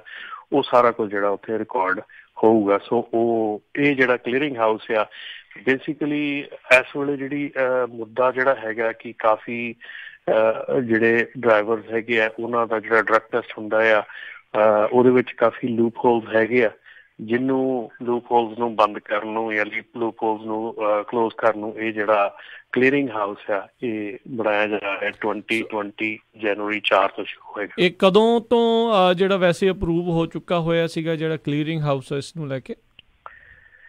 ਇਹ ਜੀ ਜਿਹੜਾ ਹੈਗਾ ਇਹ ਤਾਂ ਕਾਫੀ ਦੇਰ ਦੀ ਗੱਲ ਚੱਲ ਰਹੀ ਸੀਗੀ ਕਿ ਜਿਹੜਾ ਇਹ ਇਹ ਸਿਸਟਮ ਹੈਗਾ ਇਹ ਕਿਤੇ ਕਿਤੇ ਰਿਪਲੇਸ ਕੀਤਾ ਜਾਵੇ, ਇਹਦਾ ਜਿਹੜਾ ਰੂਲ ਮੇਕਿੰਗ ਹੈਗਾ ਕਾਫੀ ਦੇਰ ਦੀ ਚੱਲ ਰਹੀ ਸੀਗੀ। ਸੋ ਇਹਨੂੰ ਕਾਫੀ ਹੁਣ ਦੇਰ ਪਿੱਛੋਂ ਦੇਖ, ਧਿਆਨ ਕੇ ਕਰਕੇ ਸਾਰਾ ਕੁਝ ਜਿਹੜਾ ਆ ਇਹ ਇੰਪਲੀਮੈਂਟ ਜਿਹੜਾ ਜਨਵਰੀ 4 2020 ਨੂੰ ਹੋ ਰਿਹਾ। ਸੋ ਇਹਦੇ ਵਿੱਚ ਜਿਹੜਾ ਤੁਸੀਂ ਦੱਸੋ ਵੀ ਜਿਹੜਾ ਲੂਪ ਹੋਲ ਆ, ਕੀ ਇਸ ਦੇ ਕੋਈ ਉਦਾਹਰਨ ਹੈਗਾ ਆ ਵੀ ਜਿਸ ਨੂੰ ਇਹ ਕਿਹੜੇ ਲੂਪ ਹੋਲ ਨੂੰ ਬੰਦ ਕਰਨ ਦੀ ਜਿਹੜੀ ਕੋਸ਼ਿਸ਼ ਕਰ ਰਹੇ ਆ? ਤੇ ਪਹਿਲੋਂ ਕਿਸ ਤਰੀਕੇ ਦੇ ਨਾਲ ਚੱਲਦਾ ਸੀ ਤੇ ਹੁਣ ਜਿਹੜਾ ਜਿੱਦਾਂ ਮੈਨੂੰ ਪਤਾ ਤੁਸੀਂ ਥੋੜਾ ਬਹੁਤ ਐਕਸਪਲੇਨ ਕਰਨ ਦੀ ਕੋਸ਼ਿਸ਼ ਕੀਤੀ ਆ, ਪਰ ਫਿਰ ਵੀ ਵੀ ਦਾ ਇੰਪੈਕਟ ਜਿਹੜਾ ਹੈ ਟਰੱਕਿੰਗ ਇੰਡਸਟਰੀ ਦੇ ਉੱਤੇ ਜਿਹੜਾ ਕਿਸ ਤਰੀਕੇ ਦਾ ਰਹੂਗਾ, ਖਾਸ ਕਰਕੇ ਕਿਉਂਕਿ ਇਹ ਡਰਾਈਵਰਸ ਦੇ ਨਾਲ ਡਾਇਰੈਕਟਲੀ ਸੰਬੰਧਿਤ ਆ। ਯਾ ਬਿਲਕੁਲ ਇਹ ਜਿਹੜਾ ਰੂਲ ਹੈਗਾ ਜੀ, ਇਹ ਪਹਿਲਾਂ ਵੀ ਸਿੰਪਲੀ ਜਿੱਦਾਂ ਆਪਾਂ ਗੱਲ ਕਰਦੇ ਆਂ ਕਿ ਆਵਰਸ ਆਫ ਸਰਵਿਸ ਦਾ ਰੂਲ ਪਹਿਲਾਂ ਵੀ ਸੀਗਾ ਤੇ ਇਲੈਕਟ੍ਰੋਨਿਕ ਜਿਹੜੀ ELD ਆਈ ਆ ਇਹ ਕਾਫੀ ਮਿਲਦੀ ਜਲਦੀ ਚੀਜ਼ ਹੈਗੀ ਆ। ਇਹ ਰੂਲ ਜਿਹੜਾ, ਇਹ ਆਲਰੇਡੀ ਹੈਗਾ, ਇਹ ਰੂਲ ਆਲਰੇਡੀ ਇੰਪਲੀਮੈਂਟਡ ਹੈ ਪਰ ਕਿਉਂਕਿ ਹਿਊਮਨ ਫੈਕਟਰ ਇਨਵੋਲਵ ਆ, ਇਹਦੇ ਵਿੱਚ ਡਰਾਈਵਰ ਜਿਹੜਾ ਆ, ਕਈ ਵਾਰੀ ਉਹ ਆਪਣਾ ਰਿਪੋਰਟ ਨਹੀਂ ਕਰਦਾ। ਉਹਨੂੰ ਡਰੱਗ ਦੀ ਟਿਕਟ ਮਿਲ ਜਾਂਦੀ ਕੁਝ ਮਿਲ ਜਾਂਦੀ ਆ, ਉਹ ਰਿਪੋਰਟ ਨਹੀਂ ਕਰਦਾ ਆਣ ਕੇ ਆਪਣੇ ਏਮਪਲੋਇਰ ਨੂੰ ਜਾਂ ਕਿਸੇ ਕਾਰਨ ਕਰਕੇ ਜਦੋਂ ਉਹ ਨਵੀਂ ਜੌਬ ਤੇ ਲੱਗਦਾ ਆ ਤੇ ਉਹਨੂੰ ਜਿਹੜਾ ਇੱਕ ਲੂਪ ਹੋਲ ਜਿਹੜਾ ਮੇਰੇ ਦੇਖਣ ਸੁਣਨ ਚ ਆਇਆ ਆ ਕਾਫੀ ਜੇ ਕਿਸੇ ਦਾ ਡਰੱਗ ਪੋਜ਼ਿਟਿਵ ਆ ਜਾਂਦਾ ਆ ਤੇ ਉਹ ਆਪਣਾ, ਉਸ ਏਮਪਲੋਇਰ ਕੋ ਵਾਪਸ ਨਹੀਂ ਜਾਂਦਾ, ਆਪਣਾ ਡਰੱਗ ਟੈਸਟ ਜਿਹੜਾ ਆ, ਉਹ ਉਸ ਇੱਕ ਏਜੰਸੀ ਦੇ ਕੋਲ ਹੀ ਰਹਿ ਜਾਂਦਾ ਆ। ਸੋ ਉਹ ਏਜੰਸੀ ਦੇ ਕੋਲ ਜਦੋਂ ਮਹੀਨੇ ਬਾਅਦ, ਜਿੰਨੇ ਟਾਈਮ ਬਾਅਦ ਵੀ ਜਿਹੜੀ ਆਪਣੀ ਡੀਓਟੀ ਜਾਂਦੀ ਆ, ਉਹ ਆਪਣੇ ਜਿਹੜੇ ਪੋਜ਼ਿਟਿਵ ਆ, ਲੈ ਕੇ ਆਉਂਦੀ ਆ ਆਪਣੇ ਡਾਟਾਬੇਸ ਸੋ ਕਾਫੀ ਉਹਦੇ ਵਿੱਚ ਡਿਲੇ ਹੋ ਜਾਂਦੀ ਆ। ਸੋ ਉਹ ਬੰਦਾ ਜਿਹੜਾ ਡਰਗ ਟੈਸਟ ਚ ਪੋਜ਼ਿਟਿਵ ਆਇਆ, ਉਹ 2 ਮਹੀਨੇ, ਮਹੀਨਾ 2 ਮਹੀਨੇ ਠਹਿਰ ਕੇ ਦੂਜੀ ਕੰਪਨੀ ਕੋਲ ਜਾ ਕੇ ਅਪਲਾਈ ਕਰਦਾ ਡਰਗ ਟੈਸਟ ਉਹਦਾ 네ਗੇਟਿਵ ਆ ਜਾਂਦਾ, ਤਾਂ ਨਹੀਂ ਸਟਾਰਟ ਵਰਕਿੰਗ ਸੋ ਉਹਨੇ ਉਹ ਪ੍ਰੋਸੈਸ ਕੰਪਲੀਟ ਨਹੀਂ ਕੀਤਾ ਜਿਹੜਾ ਕਿ ਉਹਨੂੰ ਕਰਨਾ ਚਾਹੀਦਾ ਸੀਗਾ ਅਕੋਰਡਿੰਗ ਟੂ ਦ ਲਾਅ ਹੈ। ਨਾ ਸੋ ਇਹ ਚੀਜ਼ਾਂ ਜਿਹੜੀਆਂ ਹੈਗੀਆਂ ਇਹ ਵਿੱਚ ਲੂਪ ਹੋਲਸ ਹੈਗੇ ਆ ਵਿੱਚ ਗੈਪ ਹੈਗੇ ਆ ਇਨਫੋਰਮੇਸ਼ਨ ਗੈਪ ਹੈਗਾ ਆ ਕਿਤੇ ਜਿੱਥੇ ਇਨਫੋਰਮੇਸ਼ਨ ਪ੍ਰੋਪਰ ਟਾਈਮ ਤੇ ਨਹੀਂ ਪਹੁੰਚਦੀ। ਹੁਣ ਇੱਕ ਚੀਜ਼ ਹੋਰ ਵੀ ਹੈਗੀ ਆ ਕਿ ਜਦੋਂ drug test after accident drug test ਹੁੰਦਾ ਆ ਤੁਹਾਡਾ ਕਿਸੇ ਵੀ ਪ੍ਰੋਬਲਮ ਕਰਕੇ ਹੁੰਦਾ ਆ। ਸੋ ਉਹ ਜਿਹੜੀਆਂ ਚੀਜ਼ਾਂ ਹੈਗੀਆਂ, ਉਹ ਰਿਪੋਰਟਡ ਰਿਪੋਰਟ ਨਹੀਂ ਸੀ ਹੁੰਦੀ। ਜਿਵੇਂ ਕਿ ਡੀਐਮਬੀ ਆਪਣੇ ਈਐਲਡੀ ਦੇ ਵਿੱਚ ਵੀ ਰਿਕਾਰਡਿੰਗ ਜਿਹੜੀ ਉਹ ਪੇਪਰ ਤੇ ਹੁੰਦੀ ਹੁੰਦੀ ਸੀਗੀ। ਸੋ ਉਹ ਜਿੱਦਾਂ ਵੀ ਮਰਜ਼ੀ ਆਪਾਂ ਉਹਨੂੰ ਮੈਨੀਪੂਲੇਟ ਕਰ ਲੈਂਦੇ ਸੀ, ਉਹਨੂੰ ਚੇਂਜ ਕਰ ਲੈਂਦੇ ਸੀ। ਇਦਾਂ ਹੀ ਇਹਦੇ ਵਿੱਚ ਹੈ ਕਿ ਇਹ ਲਾਅ ਪਹਿਲਾਂ ਹੀ ਬਣਿਆ ਹੈ ਲਾਅ ਤੇ ਜਿਹੜਾ ਹੈਗਾ ਪਹਿਲਾਂ ਹੀ ਹੈਗਾ ਪਰ ਇਹਨੂੰ ਇੱਕ ਇਲੈਕਟ੍ਰੋਨਿਕ ਤਰੀਕਾ ਵਰਤਿਆ ਜਾ ਰਿਹਾ ਹੁਣ ਤਾਂ ਕਿ ਉਹਨੂੰ ਇੱਕ ਇੱਕੋ ਜਗ੍ਹਾ ਤੇ ਸਾਰਾ ਰੈਕੋਰਡ ਇਕੱਠਾ ਹੋਵੇ ਸਾਰੇ ਅਮਰੀਕਾ ਦਾ ਜਿਹੜਾ ਔਰ ਇਹਦੇ ਵਿੱਚ ਇਹ ਜਿਹੜਾ ਰੈਕਟ ਹੈਗਾ ਇਹ ਕੱਲੇ ਅਮਰੀਕਾ ਲਈ ਨਹੀਂ ਹੈਗਾ ਜਿਹੜਾ ਵੀ ਡਰਾਈਵਰ ਕੈਨੇਡਾ ਤੋਂ ਅਮਰੀਕਾ ਚ ਆ ਰਿਹਾ ਜਾਂ ਮੈਕਸੀਕੋ ਤੋਂ ਕੈਨੇਡਾ ਅਮਰੀਕਾ ਚ ਆ ਰਿਹਾ ਉਹਨਾਂ ਦਾ ਵੀ ਡਰੱਗ ਦਾ ਜਿਹੜਾ ਟੈਸਟ ਹੈਗਾ ਉਹ ਕਲੀਅਰਿੰਗ ਹਾਊਸ 'ਚ ਹੋਣਾ ਜ਼ਰੂਰੀ ਹੈ ਜੀ। ਤੇ ਇੱਕ ਇਹਦੇ ਵਿੱਚ ਵੀ ਜ਼ਰੂਰ ਰਮਨ ਜੀ ਦੱਸੋ ਵੀ ਇਹ ਜਿਹੜੇ ਟੈਸਟਿੰਗ ਫਿਰ ਜਿਹੜੀ ਹੁੰਦੀ ਆ ਜਿਹੜੇ ਵੱਖ-ਵੱਖ ਹੁਣ ਜਗ੍ਹਾ ਦੇ ਉੱਤੇ ਕੀਤੀ ਜਾਂਦੀ ਆ ਕੀ ਇੱਕ ਸਾਰਿਆਂ ਨੂੰ ਇਕੱਠੇ ਕਰਕੇ ਇੱਕੋ ਥਾਂ ਦੇ ਉੱਤੇ ਹੋਇਆ ਕਰੂਗੀ ਜਾਂ ਫਿਰ ਜਿਹੜੀ ਟੈਸਟਿੰਗ ਦਾ ਸਿਰਫ ਇੱਕ ਨਤੀਜਾ ਹੀ ਇੱਕੋ ਥਾਂ ਦੇ ਉੱਤੇ ਸਿਰਫ ਜਾਣਾ ਆ? ਟੈਸਟਿੰਗ ਇਦਾਂ ਹੀ ਚੱਲਦੀ ਰਹੂਗੀ ਜਿੱਦਾਂ ਹੁਣ ਚੱਲਦੀ ਆ ਇਹਦਾ ਕੋਈ ਚੇਂਜਸ ਨਹੀਂ ਹੈਗੇ ਟੈਸਟ ਸੈਂਟਰਸ ਜਿਹੜੇ ਆ ਉਹ ਇਦਾਂ ਹੀ ਰਹਿਣਗੇ। ਸਿਰਫ ਟੈਸਟ ਰਿਜ਼ਲਟਸ ਜਿਹੜੇ ਆ ਉਹ ਇੱਕ ਜਗ੍ਹਾ ਤੇ ਆ ਜਾਣਗੇ। ਜਿਸ ਤਰ੍ਹਾਂ ਹੁਣ ਟੈਸਟ ਰਿਜ਼ਲਟ ਇੱਕ ਜਗ੍ਹਾ ਤੇ ਆ ਗਏ। ਉੱਥੋਂ ਤੁਹਾਡੇ EMPLOYER ਨੂੰ ਵੀ ਉਹ ਅਵੇਲੇਬਲ ਆ, ਤੁਹਾਡੇ DO2 ਨੂੰ DOT ਨੂੰ ਵੀ ਅਵੇਲੇਬਲ ਆ NTSB ਨੂੰ ਵੀ ਅਵੇਲੇਬਲ ਆ। ਸੋ ਉਹ ਸਾਰਿਆਂ ਨੂੰ ਉੱਥੇ ਅਵੇਲੇਬਲ ਹੋਣਗੇ। ਜੀ। ਤੇ ਅਗਲੀ ਖਬਰ ਵੱਲ ਚਲੀਏ। ਰਮਨ ਜੀ, ਪਿਛਲੇ ਕਈ ਹਫ਼ਤਿਆਂ ਤੋਂ ਜਿਹੜਾ ਰੌਲਾ ਕੈਲੀਫੋਰਨੀਆ 'ਚ ਪਿਆ ਹੋਇਆ W2 ਤੇ 1099 ਦਾ, ਤੁਸੀਂ ਗਏ ਵੀ ਸੀ ਕੈਲੀਫੋਰਨੀਆ ਦੇ ਵਿੱਚ। ਅੱਜ ਪਿਛਲੇ 2 ਦਿਨਾਂ 'ਚ ਇੱਕ ਰੂਲਿੰਗ ਆਈ ਆ। ਐਰੀਜ਼ੋਨਾ ਤੋਂ ਟਰੱਕਿੰਗ ਕੰਪਨੀ ਜਿਹੜੀ ਸਵਿਫਟ ਟਰਾਂਸਪੋਰਟੇਸ਼ਨ ਕੰਪਨੀ ਆ ਅਮਰੀਕਾ ਦੀ ਬਹੁਤ ਵੱਡੀ ਟਰੱਕਿੰਗ ਕੰਪਨੀ ਆ ਉਹਨਾਂ ਨੇ 100 ਮਿਲੀਅਨ ਡਾਲਰ ਦਾ ਜਿਹੜਾ ਲਾਸੂਟ ਆ, ਉਹ ਸੈਟਲ ਕੀਤਾ 20000 ਡਰਾਈਵਰ ਦੇ ਨਾਲ। ਉਹ ਜਿਹੜੇ ਡਰਾਈਵਰਸ ਆ, ਉਹ ਕਲੇਮ ਕਰ ਰਹੇ ਸੀ ਵੀ ਸਾਨੂੰ as a independent contractor misclassify ਕੀਤਾ ਗਿਆ ਆ ਤੇ ਸਾਨੂੰ ਮਿਨੀਮਮ ਵੇਜ ਤੋਂ ਘੱਟ ਪੈਸੇ ਦਿੱਤੇ ਗਏ ਆ। ਜੀ, ਬਿਲਕੁਲ, ਇਹ ਜਿਹੜਾ ਸਵਿਫਟ ਦਾ ਕੇਸ ਹੈਗਾ ਸਵਿਫਟ ਨੇ ਐਕਚੁਅਲੀ 3 ਹਫ਼ਤੇ ਪਹਿਲਾਂ ਕੈਲੀਫੋਰਨੀਆ ਦੇ ਵਿੱਚੋਂ ਓਨਰ ਆਪਰੇਟਰ ਹਾਇਰ ਕਰਨ ਤੋਂ ਵੀ ਨਾ ਕਰ ਦਿੱਤੀ ਆ। ਸੋ ਉਹਨਾਂ ਨੇ ਇਹ ਗੱਲ ਕਲੀਅਰ ਕਰਤੀ ਕਿ ਅਸੀਂ ਜਿਹੜੀ ਹੈ ਕਿਉਂਕਿ ਮੀਲ ਐਂਡ ਰੈਸਟ ਬ੍ਰੇਕ ਦੇ ਇਸ਼ੂ ਬੜੇ ਚੱਲ ਰਹੇ ਆ। ਸੋ ਜਿਹੜਾ ਇਹ ਜਿਹੜਾ ਰੂਲ ਡਾਇਨਾਮਿਕਸ ਵਾਲਾ ਹੋਇਆ ਨਾ, ਜਿਹੜਾ ਇਹ ਡਿਸੀਜਨ ਆਇਆ ਆ, ਇਹ ਡਿਸੀਜਨ ਆਇਆ ਵੀ ਇਹਨਾਂ ਵੱਡੀਆਂ ਕੰਪਨੀਆਂ ਕਰਕੇ ਆ, ਕਿਉਂਕਿ ਇਹਨਾਂ ਕੰਪਨੀਆਂ ਦੇ ਵਿੱਚ ਮੈਜੋਰਟੀ ਜਿਹੜੇ ਡਰਾਈਵਰ ਜਦੋਂ ਜਾਂਦੇ ਆ, ਉਹਨਾਂ ਦੇ ਵਿੱਚ ਉੱਥੇ ਆਪਣਾ ਜੌਬ ਲਈ ਜਾਂਦੇ ਆ ਤੇ ਉਹਨਾਂ ਨੂੰ ਉੱਥੇ ਇੱਕ ਆਪਸ਼ਨ ਦਿੱਤੀ ਜਾਂਦੀ ਆ ਕਿ ਇਹ ਇੱਕ ਤਾਂ ਇੱਕ ਪਾਸੇ ਡਰਾਈਵਰ ਆ, ਦੂਜੇ ਪਾਸੇ you can become your own boss ਤੁਸੀਂ ਆ ਜਿਹੜਾ ਸਾਡਾ ਟਰੱਕ ਆ, ਇਹ ਤੁਹਾਨੂੰ ਅਸੀਂ ਲੀਜ਼ ਕਰ ਦਿੰਦੇ ਆ ਤੇ ਤੁਸੀਂ ਇਹ ਟਰੱਕ ਜਿਹੜਾ ਆ, ਇਹਨੂੰ ਚਲਾਓ ਤੇ ਤੁਸੀਂ you know after the lease ਇਹ ਟਰੱਕ ਤੁਹਾਡਾ ਹੋਊਗਾ, ਇਹ ਮੋਖਾਣਾ ਬੜਾ ਕਈ ਕੁਝ ਉਹਨਾਂ ਨੂੰ ਦੱਸ ਕੇ ਤੇ ਇਹ ਬੜਾ ਵੱਡਾ ਇੱਕ ਕਿਸਮ ਦਾ ਇਹ ਫਰਾਡ ਹੀ ਕਹ ਲਓ ਇਹਨੂੰ ਚੱਲ ਰਿਹਾ ਕਿ ਜਿਹਦੇ ਵਿੱਚ ਉਹ ਜਿਹੜਾ ਟਰੱਕ ਹੈਗਾ ਉਹਨਾਂ ਦੇ ਨਾਂ ਕਰ ਦਿੱਤਾ ਜਾਂਦਾ ਆ ਫਿਰ ਉਹ ਇੰਨੇ ਜ਼ਿਆਦਾ ਸਟਕ ਹੋ ਜਾਂਦੇ ਆ। At the end of the year ਉਹਨਾਂ ਨੂੰ ਉਹੀ 25 30 ਹਜ਼ਾਰ ਡਾਲਰ ਮਸਾਂ ਹੀ ਬਚਦਾ ਆ। ਤੇ ਨਾਂ ਨੂੰ ਓਨਰ ਆਪਰੇਟਰ ਹੈਗੇ ਆ ਗ੍ਰੋਸ ਉਹਨਾਂ ਦੀ ਇੰਨੀ ਹੈ ਪਰ ਅਲਟੀਮੇਟਲੀ ਜਿਹੜਾ ਆ ਉਹਨਾਂ ਨੂੰ ਬਹੁਤ ਥੋੜੇ ਪੈਸੇ ਬਚਦੇ ਆ। ਸੋ ਇਹ ਜਿਹੜਾ ਇਸ ਚੀਜ਼ ਨੂੰ ਕੰਟਰੋਲ ਕਰਨ ਵਾਸਤੇ ਜਿਹੜਾ ਇਹ ਰੂਲ ਆ ਇਹ ਜਿਹੜਾ ਉਦੋਂ ਡਾਇਨਾਮਿਕਸ ਡਿਸੀਜਨ ਆ ਉਹ ਬਣਿਆ ਸੀਗਾ। ਹੂੰ ਜੀ ਜੀ। ਆਪਣੇ ਨਾਲ ਕਾਲਰ ਜੁੜੇ ਨੇ ਉਹ ਸਵਾਲ ਪੁੱਛਣਾ ਚਾਹੁੰਦੇ ਨੇ ਕਮਲ ਜੀ। ਸਵਾਗਤ ਹੈ ਸਤਿ ਸ਼੍ਰੀ ਅਕਾਲ। ਸਤਿ ਸ਼੍ਰੀ ਅਕਾਲ ਜੀ। ਭਾਜੀ ਆਪਣਾ ਇਹ ਜਿਹੜਾ ਡੀਓਟੀ ਦਾ ਰੂਲ ਹੈ ਇਹ ਸਿਰਫ ਡਰਾਈਵਰਾਂ ਲਈ ਹੈ ਕਿ ਜਿਹੜੇ ਟਰੱਕ ਮਕੈਨਿਕ ਨੇ ਇਹ ਵੀ ਡੀਓਟੀ ਰੂਲ ਦੇ ਵਿੱਚ ਹੀ ਆਉਂਦੇ ਨੇ। ਜੇ ਉਹ ਟਰੱਕ ਟਰੱਕ ਫੇਲ ਹੋ ਜਾਂਦੇ ਨੇ ਤੇ ਉਹਨਾਂ ਲਈ ਵੀ ਇਹ ਰੂਲ ਅਪਲਾਈ ਹੋਏਗਾ। ਕਲੀਅਰਿੰਗ ਹਾਊਸ ਵਾਲਾ ਰੂਲ ਪੁੱਛਦੇ ਆ। ਕਲੀਅਰਿੰਗ ਹਾਊਸ ਵਾਲਾ ਰੂਲ ਜੀ, ਜਿਹੜੇ ਵੀ ਡਰਾਈਵਰਸ ਹੈਗੇ, ਜਿਹੜੇ ਕਮਰਸ਼ੀਅਲ ਵਹੀਕਲ ਆਪਰੇਟ ਕਰਦੇ ਆ, ਤੇ ਉਹਨਾਂ ਦੀ ਜੌਬ ਰਿਕੁਆਇਰਮੈਂਟ ਹੈਗੀ ਆ ਕਿ ਉਹਨਾਂ ਨੂੰ ਡਰਗ ਟੈਸਟ ਜਿਹੜਾ ਆ, ਉਹ ਰਿਕੁਆਇਰਡ ਹੈਗਾ। ਉਹ, ਜਿਹਨੂੰ ਵੀ ਟੈਸਟ ਰਿਕੁਆਇਰਡ ਆ, ਅੱਜ ਦੀ ਤਰੀਕ 'ਚ, ਉਹ ਸੇਮ ਉਹਨਾਂ ਲਈ ਰਿਕੁਆਇਰਮੈਂਟ ਆ। ਮਕੈਨਿਕ ਮੇਰੇ ਖਿਆਲ ਦੇ ਵਿੱਚ ਨਹੀਂ ਇਹਦੇ ਵਿੱਚ ਆਉਂਦੇ ਕਿਉਂਕਿ ਉਹ ਕੋਈ ਵੀ ਐਸਾ ਆਪਰੇਟ ਨਹੀਂ ਕਰ ਰਹੇ ਹੈਗੇ ਕੋਈ ਵੀ ਐਸਾ ਇਕਵਿਪਮੈਂਟ ਜਿਹੜਾ। ਸੋ ਉਹਦੇ ਉੱਤੇ ਵਰਕ ਕਰ ਰਹੇ ਆ ਸੋ ਸੋ ਉਹ ਚਲਾ ਨਹੀਂ ਰਹੇ ਇਸ ਲਈ ਸ਼ਾਇਦ ਇਸ ਦੇ ਅਧੀਨ ਆਉਂਦੇ ਨਹੀਂ ਹਾਂਜੀ। ਥੈਂਕ ਯੂ ਤੇ ਇਸੇ ਦੇ ਨਾਲ ਹੀ ਜਿਹੜੀ ਆਪਾਂ ਜੇ ਅੱਗੇ ਕਲੀਅਰਿੰਗ ਹਾਊਸ ਦੇ ਨਾਲ ਜਿਹੜੀ ਆਪਾਂ ਗੱਲ ਕਰਦੇ ਜਾਈਏ ਵੀ ਜਿੱਦਾਂ ਆਪਾਂ ਦੱਸ ਰਹੇ ਹਾਂ ਵੀ ਇੱਕ ਉਹਨਾਂ ਨੇ ਡਾਟਾਬੇਸ ਜਿਹੜਾ ਇਕੱਠਿਆਂ ਜਿਹੜਾ ਨੈਸ਼ਨਲ ਲੈਵਲ ਦਾ ਜਿਹੜਾ ਇਕੱਠਾ ਕਰ ਰਹੇ ਆ, ਵੀ ਜੋ ਵੀ ਡਰੈਗ ਰਿਜ਼ਲਟ ਆਉਂਦਾ ਆ। ਤੇ ਉਹ ਫਿਰ ਹੁਣ ਦੇਖੋ ਜਿੱਦਾਂ ਲੂਪ ਹੋਲ ਆ ਕੱਲ ਨੂੰ ਕੋਈ ਟੈਸਟ ਕਰਾਵੇ ਤੇ ਜੇ ਟੈਸਟ ਕਰਨ ਵਾਲੀ ਫੈਸਿਲਿਟੀ ਉਥੇ ਉਹ, ਉਹਨਾਂ ਨੂੰ ਫਿਰ ਉਹ ਮੈਂਡੇਟਰੀ ਹੋਊਗਾ ਵੀ ਹਰ ਇੱਕ ਦਾ ਹੀ ਕਰਨਾ ਪਊਗਾ ਉਹਨਾਂ ਨੂੰ ਜਾਂ ਉਹ ਰੋਕ ਵੀ ਸਕਦੇ ਆ ਕਿਸੇ ਦਾ? ਕਿਸ ਮੈਂ ਤੇਰਾ ਪੂਰਾ ਕੁਐਸਚਨ ਨਹੀਂ ਸਮਝਿਆ। ਸਮਝੇ ਇਸ ਤਰੀਕੇ ਨਾਲ ਹੁਣ ਦੇਖੋ ਲੂਪ ਹੋਲ ਆ ਲੂਪ ਹੋਲ ਤੇ ਕਿਤੇ ਵੀ ਫਿਰ ਜਿਹੜਾ ਉਹ ਬਣਾਇਆ ਜਾ ਸਕਦਾ, ਕੋਈ ਕਹੂਗਾ ਵੀ ਚੱਲ ਯਾਰ ਤੂੰ ਕਰ ਦੇ ਤੇ ਫਿਰ ਇਦਾਂ ਜੇ ਉਹ ਅਪਲੋਡ ਨਾ ਕਰੇ ਜਾਂ ਉਹਨਾਂ ਨੂੰ ਕਰਨਾ ਹੀ ਪਊਗਾ ਕਿਸੇ ਤਰੀਕੇ ਦੇ ਨਾਲ, ਉਥੇ ਤੇ ਨਹੀਂ ਵੀ ਪਰਦਾ ਰੱਖਿਆ ਜਾ ਸਕਦਾ ਜਿਹੜੀਆਂ ਟੈਸਟਿੰਗ ਫੈਸਿਲਿਟੀਆਂ ਕਰ ਰਹੀਆਂ। ਦੇਖੋ ਉਹਦੇ ਵਿੱਚ ਇਦਾਂ ਆ ਰਾਜ ਕੀ ਜਿਹੜੀਆਂ ਟੈਸਟਿੰਗ ਫੈਸਿਲਿਟੀਆਂ ਹੈਗੀਆਂ ਇਹ ਇੱਕ ਬੰਦੇ ਦੇ ਪਿੱਛੇ ਉਹਨਾਂ ਦਾ ਆਪਣਾ ਜਿਹੜਾ ਰੈਕੋਰਡ ਹੈਗਾ ਆਪਣਾ ਜਿਹੜਾ ਲਾਇਸੈਂਸ ਹੈਗਾ ਉਹ ਡਾ ਤੇ ਨਹੀਂ ਲਾਊਗਾ ਕੋਈ ਵੀ। ਜੇ ਅਗਲੇ ਦੀ ਰੋਜੀ ਰੋਟੀ ਉੱਤੇ ਚੱਲ ਰਹੀ ਹੈ ਤੇ ਮੇਰੇ ਖਿਆਲ ਨਹੀਂ ਆ ਕੋਈ ਇਦਾਂ ਕਰੂਗਾ ਵੀ ਇੱਕ ਬੰਦੇ ਦੇ ਕਹਿਣ ਪਿੱਛੇ ਜਾਂ ਥੋੜੇ ਜਿਹੇ ਪੈਸੇ ਪਿੱਛੇ ਅਗਲਾ ਕਹੂਗਾ ਵੀ ਮੈਂ ਜਿਹੜਾ ਇਹ ਕੰਮ ਕਰ ਦਿੰਦਾ। ਪਰ ਅਨਫੋਰਚੂਨਟਲੀ ਬਹੁਤ ਜਣੇ ਕਰਦੇ ਆ ਕਈ ਕਰਦੇ ਆ ਤੇ ਫਿਰ ਫੜੇ ਵੀ ਜਾਂਦੇ ਆ ਬਾਅਦ ਜੀ ਤੇ ਇਹ ਜਿਹੜੀ ਡਰਾਈਵਰ ਦੀ ਇਨਫੋਰਮੇਸ਼ਨ ਆ ਜਿਹੜਾ ਉਹ ਮੈਡੀਕਲ ਰੈਕੋਰਡ ਆ ਉਹਨਾਂ ਦੀ ਟੈਸਟ ਮੈਡੀਕਲ ਟੈਸਟ ਦਾ ਰੈਕੋਰਡ ਆ ਕਿੰਨੇ ਚਿਰ ਲਈ ਉਸ ਦੇ ਵਿੱਚ ਪਿਆ ਰਹਿਣਾ ਆ ਤੇ ਕਿੰਨੂੰ ਕਿੰਨੂੰ ਜਿਹੜਾ ਆ ਉਹ ਅਵੇਲੇਬਲ ਜਿਹੜਾ ਉਹ ਹੋਵੇਗਾ? ਜਿਹੜਾ ਅਵੇਲੇਬਿਲਿਟੀ ਆ ਉਹਦੇ ਵਿੱਚ ਅਵੇਲੇਬਿਲਿਟੀ ਜਿਹੜੀ ਆ EMPLOYERS ਨੂੰ ਜਿਹੜੇ ਫਿਊਚਰ EMPLOYERS ਹੈਗੇ ਜਿਨ੍ਹਾਂ ਨੇ ਡਰਾਈਵਰ ਨੂੰ ਹਾਇਰ ਕਰਨਾ ਜਾਂ ਜਿਹੜੇ ਤੁਹਾਡੇ ਐਗਜ਼ਿਸਟਿੰਗ EMPLOYER ਹੈਗੇ ਆ, ਉਹਨਾਂ ਦੇ ਕੋਲ ਉਹਦਾ ਜਿਹੜਾ ਡਾਟਾ ਉਹ ਅਵੇਲੇਬਲ ਰਹੂਗਾ। ਆ ਸਟੇਟ ਡਰਾਈਵਰ ਲਾਇਸੈਂਸਿੰਗ ਏਜੰਸੀ ਜਿਹੜੀਆਂ ਆ, ਆਪਣੀਆਂ ਡੀਐਮਪੀ ਹੈਗੀਆਂ ਜਿਹੜਾ ਡੀਓਟੀ ਹੈਗਾ ਆ, ਉਹਨਾਂ ਦੇ ਕੋਲ ਅਵੇਲੇਬਲ ਹੋਊਗਾ। ਉਸ ਤੋਂ ਬਾਅਦ national transportation safety board NTSB ਜਿਹੜੇ ਐਕਸੀਡੈਂਟ ਤੋਂ ਬਾਅਦ ਆਲਮੋਸਟਲੀ ਜਿਹੜੇ ਕ੍ਰੈਸ਼ ਤੋਂ ਬਾਅਦ ਇਨਵੈਸਟੀਗੇਸ਼ਨ ਕਰਦੇ ਉਹਨਾਂ ਕੋਲ ਅਵੇਲੇਬਲ ਹੋਊਗਾ। ਤੇ ਪ੍ਰੋਟੈਕਸ਼ਨ ਜਿਹੜੀ ਆ ਜਿਹੜੀ ਰੈਗੂਲਰ ਪ੍ਰੋਟੈਕਸ਼ਨ ਜਿਹੜੀ ਹੁੰਦੀ ਆ, ਆਪਣੀ ਫੈਡਰਲ ਗਵਰਨਮੈਂਟ ਲਈ ਕੀ ਡਾਟਾ ਪ੍ਰੋਟੈਕਟ ਕਰਨਾ ਆ, ਉਹ ਵੀ ਡਾਟਾ ਜਿਹੜਾ, ਉਹ ਆਮ ਜਿਹੜੀ ਰੈਗੂਲਰ ਪ੍ਰੋਟੈਕਸ਼ਨ ਜਿਹੜੀ ਹੈਗੀ ਆ, ਉਹ ਉੱਤੇ ਲਾਅ ਲਾਗੂ ਰਹਿਣਗੇ। ਬਾਕੀ ਜਿਹੜਾ ਡਰਾਈਵਰ ਹੈਗਾ, ਜੇ ਡਰਾਈਵਰ ਨੂੰ ਇਹ ਹੋਵੇ ਕਿ ਮੇਰਾ ਜਿਹੜਾ ਡਾਟਾ ਮੇਰਾ ਸਬਮਿਟ ਕੀਤਾ ਗਿਆ ਆ, ਉਹਦੇ 'ਚ ਕੋਈ ਖਾਮੀਆਂ ਹੈਗੀਆਂ ਜਾਂ ਉਹਦੇ 'ਚ ਕੋਈ ਐਸੀਆਂ ਪ੍ਰੋਬਲਮਸ ਹੈਗੀਆਂ ਆ ਤੇ ਉਹ ਉਹਨੂੰ ਕੰਟੈਸਟ ਕਰ ਸਕਦਾ ਆ ਕਿ ਮੇਰਾ ਜਿਹੜਾ ਡਾਟਾ ਸਬਮਿਟ ਕੀਤਾ ਹੈ ਡਾਟਾ ਗਲਤ ਆ।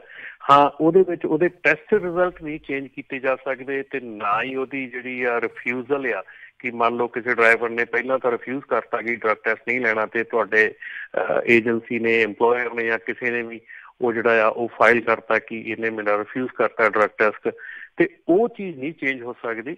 ਪਰ ਉਹਦੇ ਵਿੱਚ ਜੇ ਹੋਰ ਕੋਈ ਖਾਮੀਆਂ ਹੈਗੀਆਂ ਹੋਰ ਕੋਈ ਗਲਤ ਚੀਜ਼ਾਂ ਉਹਦੇ ਵਿੱਚ ਜਿਹੜੀਆਂ ਆਈਆਂ ਹੈਗੀਆਂ ਉਹਨਾਂ ਨੂੰ ਕੰਟੈਸਟ ਕੀਤਾ ਜਾ ਸਕਦਾ। ਤੇ ਦੂਸਰੀ ਗੱਲ ਇਹ ਆ ਕਿ ਇਹਦੇ ਨਾਲ ਨਾਲ ਜਿਹੜੀ ਆ ਡਰਾਈਵਰ ਦੀ ਪ੍ਰੋਟੈਕਸ਼ਨ ਵੀ ਕੀਤੀ ਗਈ ਆ ਕਿ ਜੇ ਕੋਈ ਵੀ EMPLOYER ਜਿਹੜਾ ਉਹ ਜਾਣਦੇ ਬੁੱਝਦੇ ਹੂੰ ਹੂੰ। ਜਾਣਦੇ ਬੁੱਝਦੇ ਉੱਥੇ ਗਲਤ ਇਨਫੋਰਮੇਸ਼ਨ ਸਬਮਿਟ ਕਰਦਾ ਆ। ਤੇ ਉਹ, ਉਹਦੇ ਲਈ ਜਿਹੜੀ ਏਜੰਸੀ ਨੇ ਪੂਰਾ ਫਾਈਨ ਤੇ ਪੂਰੇ ਜਿਹੜੇ ਕ੍ਰਿਮੀਨਲ ਚਾਰजेस ਆ, ਉਹ ਉਸ EMPLOYER ਤੇ ਲੱਗ ਸਕਦੇ ਆ, ਜੇ ਉਹ ਜਾਣਦੇ ਬੁੱਝਦੇ ਗਲਤ ਇਨਫੋਰਮੇਸ਼ਨ ਜਿਹੜੀ ਆ ਡਰਾਈਵਰ ਦੇ ਰੈਕੋਰਡ ਦੇ ਵਿੱਚ ਪਾਉਂਦਾ ਆ। ਹੂੰ ਜੀ। ਔਰ ਉਹਦੇ ਉਹਦੇ ਜਿਹੜੇ ਰੈਕੋਰਡ ਪਾਉਣੇ ਆ ਉਹਨੇ ਯਾਰ, ਕੋਈ ਵੀ ਉਹਦੇ ਰੈਕੋਰਡ ਸਬਮਿਟ ਕਰਨਾ ਆ, ਉਹਦੇ ਵਿੱਚ ਪ੍ਰੋਪਰ ਉਹਨੂੰ ਪੇਪਰ ਵਰਕ ਚਾਹੀਦਾ ਪੂਰਾ ਉਹਦੇ ਵਿੱਚ ਜਿਹੜੀ ਟੈਸਟਿੰਗ ਏਜੰਸੀ ਆ ਉਹਦੇ ਵੱਲੋਂ ਜਾਂ ਡੀਓਟੀ ਵੱਲੋਂ, ਕੋਈ ਵੀ ਜਿਹੜਾ ਪੇਪਰ ਵਰਕ ਹੈ, ਜਿਹੜਾ ਉਹਦਾ ਰਿਕੁਆਇਰਡ ਪੇਪਰ ਵਰਕ ਆ ਉਹ, ਉਹਦਾ ਡੈਫੀਨਿਟਲੀ ਉਹਨੂੰ ਸਟੈਬਲਿਸ਼ ਕਰਨਾ ਪੈਣਾ, ਦੇਣਾ ਪੈਣਾ, ਇਸ ਤੋਂ ਪਹਿਲਾਂ ਕਿ ਉਹ ਕੋਈ ਵੀ ਐਸੀ ਚੀਜ਼ ਫਾਈਲ ਕਰੇ।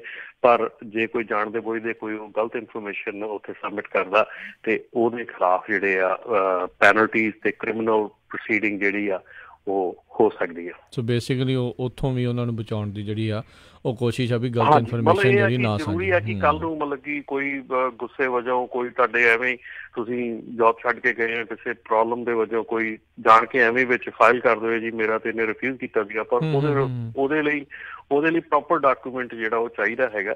ਪਰ ਜੇ ਉਹ ਕੱਲ ਨੂੰ ਇਨਫੋਰਮੇਸ਼ਨ ਜਿਹੜੀ ਡਰਾਈਵਰ ਕੰਟੈਸਟ ਕਰ ਦਿੰਦਾ ਔਰ ਉਹ ਪਾਇਆ ਜਾਂਦਾ ਕਿ ਉਹ ਇਨਫੋਰਮੇਸ਼ਨ ਗਲਤ ਸਬਮਿਟ ਕੀਤੀ ਗਈ ਸੀ, ਤੇ ਉਸ ਕੇਸ ਦੇ ਵਿੱਚ ਫਿਰ ਉਹਦੇ ਜਿਹੜੀ ਆ EMPLOYER ਹੈਗਾ, ਉਹਦੇ ਖਿਲਾਫ ਜਿਹੜਾ ਜਿਹੜਾ ਕ੍ਰਿਮੀਨਲ ਚਾਰजेस ਹੈਗੇ ਆ, ਉਹ ਫਾਈਲ ਹੋ ਸਕਦੇ ਆ। ਜੀ, ਤੇ ਇੱਕ ਸਵਾਲ ਇਸ ਦੇ ਵਿੱਚ ਇਹ ਵੀ ਆਉਂਦਾ ਹੈ ਵੀ ਜਿੱਦਾਂ ਹੁਣ ਜਦੋਂ ਟੈਸਟ ਹੋ ਜਾਂਦਾ, ਕਿੰਨੇ ਚਿਰ ਦੇ ਵਿੱਚ ਉਸ ਟੈਸਟਿੰਗ ਫੈਸਿਲਿਟੀ ਨੂੰ ਇਸ ਡਾਟਾਬੇਸ ਦੇ ਵਿੱਚ ਜਿਹੜੀ ਉਹ ਐਂਟਰੀ ਆਪਣੀ ਜਿਹੜੀ ਕਰਨੀ ਪਊਗੀ? ਕੋਈ ਮਿਨੀਮਮ ਸਮਾਂ ਜਿਹੜਾ ਉਹਨਾਂ ਨੇ ਮਿੱਥਿਆ ਆ ਵੀ ਹਾਂ, ਇੱਕ ਦਿਨ ਦੇ ਵਿੱਚ ਜਾਂ ਇੰਨੇ ਘੰਟਿਆਂ ਦੇ ਵਿੱਚ ਟੈਸਟਿੰਗ ਹੋਣ ਤੋਂ ਬਾਅਦ ਚ ਤੁਹਾਨੂੰ ਨਾਲ ਦੇ ਨਾਲ ਇਨਫੋਰਮੇਸ਼ਨ ਜਿਹੜੀ ਉੱਥੇ ਡਾਟਾਬੇਸ ਦੇ ਵਿੱਚ ਪਾਉਣੀ ਆ? ਦੇਖੋ, ਇਹ ਜਿਹੜਾ ਹੁਣ ਐਸ ਵੇਲੇ ਰਾਈਟ ਨਾਓ ਜਿਹੜਾ ਸੈਟਅਪ ਚੱਲਦਾ ਹੈਗਾ ਆਲਮੋਸਟ ਜਦੋਂ ਤੁਸੀਂ ਡਰਗ ਟੈਸਟ ਕਰਵਾਉਣ ਜਾਂਦੇ ਆ ਤੇ 24 48 ਆਵਰਸ ਦੇ ਵਿੱਚ ਰਿਜ਼ਲਟ ਜਿਹੜੇ ਆ ਜਾਂਦੇ ਆ, ਉਹ ਰਿਜ਼ਲਟ ਜਿਹੜੇ ਆ, ਉਹ ਇਲੈਕਟ੍ਰੋਨਿਕਲੀ ਅੱਜ ਅੱਜਕੱਲ ਵੀ ਫਾਈਲ ਹੁੰਦੇ, ਪਰ ਉਹ ਅਵੇਲੇਬਲ ਨਹੀਂ ਹੁੰਦੇ। ਜ਼ਿਆਦਾਤਰ ਜਿਹੜੇ ਆ, ਆਮ ਜਿੱਦਾਂ ਕਿ ਹੁਣ ਇਹ ਅਵੇਲੇਬਲ ਹੋਣਗੇ ਇਦਾਂ ਅਵੇਲੇਬਲ ਨਹੀਂ ਹੁੰਦੇ। ਸੋ ਪ੍ਰੋਸੈਸ ਉਹੀ ਆ ਸੇਮ ਹੀ ਆ 24 ਟੂ 48 ਆਵਰਸ ਦੇ ਵਿੱਚ ਜਿਹੜੇ ਰਿਜ਼ਲਟ ਆਉਂਦੇ ਆ ਤੇ ਜਦੋਂ ਰਿਜ਼ਲਟ ਆਉਂਦੇ ਆ ਤੇ ਉਹਨਾਂ ਨੂੰ ਇਲੈਕਟ੍ਰੋਨਿਕਲੀ ਰਾਈਟ ਵੇ ਉਹ ਫਾਈਲ ਹੁੰਦੇ ਆ। ਜੀ ਜੀ। ਆਪਣੇ ਨਾਲ ਕੁਝ ਕੁ ਹੋਰ ਕਾਲਰ ਰਮਨ ਜੀ ਜੁੜੇ ਨੇ ਤੇ ਸਰੋਤੋ ਜੇ ਤੁਹਾਡਾ ਵੀ ਟਰੱਕਰਸ ਜੇ ਕੋਈ ਸਵਾਲ ਹੈਗਾ ਚਾਹੇ ਇਸ ਦੇ ਨਾਲ ਸੰਬੰਧਿਤ ਹੈ ਕਲੀਅਰਿੰਗ ਹਾਊਸ ਦੇ ਨਾਲ ਜਾਂ ਵੈਸੇ ਕੋਈ ਤੁਹਾਡਾ ਟਰੱਕਿੰਗ ਦੇ ਨਾਲ ਸੰਬੰਧਿਤ ਸਵਾਲ ਆ ਤੁਸੀਂ ਕਾਲ ਕਰ ਸਕਦੇ ਹੋ 408272 272 5200 ਦੇ ਉੱਤੇ। ਆਪਣੇ ਨਾਲ ਜੁੜੇ ਨੇ ਵਰਿੰਦਰ ਬੈਂਸ। ਸਵਾਗਤ ਹੈ ਸਤਿ ਸ਼੍ਰੀ ਅਕਾਲ। ਸਤਿ ਸ਼੍ਰੀ ਅਕਾਲ ਸਰ। ਅਸੀਂ ਟ੍ਰਾਂਟੋ ਤੋਂ ਬੋਲ ਰਹੇ ਹਾਂ ਜੀ। ਜੀ। ਜੀ। ਸਰ ਅਸੀਂ ਹਸਬੰਡ ਵਾਈਫ ਟਰੱਕ ਚਲਾਉਂਦੇ ਆ ਟ੍ਰਾਂਟੋ ਤੋਂ ਡੈਲਸ ਨੂੰ ਆਨੇ ਜਿੱਦਾਂ ਅਸੀਂ ਟੈਕਸਸ ਨੂੰ। ਹੂੰ ਹੂੰ। ਜੀ। ਤੇ ਜਿਹੜਾ ਸਰ ਆ ਟੀਮ ਵਾਲਾ ਰੂਲ ਹੈ ਜਿਹੜਾ ਟੀਮ ਸਪਲਿਟ ਸ਼ਿਫਟ ਵਾਲਾ ਜਾਂ ਹੋਰ ਇਹ ਕਦੋਂ ਆਉਣ ਦੀ ਸੰਭਾਵਨਾ ਹੈ ਕਿਉਂਕਿ ਸਾਨੂੰ ਬੜੀ ਟਰਬਲ ਹੁੰਦੀ ਹੈ। 10-10 12-12 ਘੰਟੇ ਸ਼ਿਫਟ ਹੁੰਦੀ ਹੈ ਤੇ ਜਾਂ ਸਾਨੂੰ ਨੀਂਦ ਆਉਂਦੀ ਹੈ ਅਸੀਂ ਫਿਰ ਚੇਂਜ ਵੀ ਨਹੀਂ ਕਰ ਸਕਦੇ ਜਦੋਂ ਤੱਕ ਸਾਡੀ ਸ਼ਿਫਟ ਪੂਰੀ ਨਹੀਂ ਹੁੰਦੀ।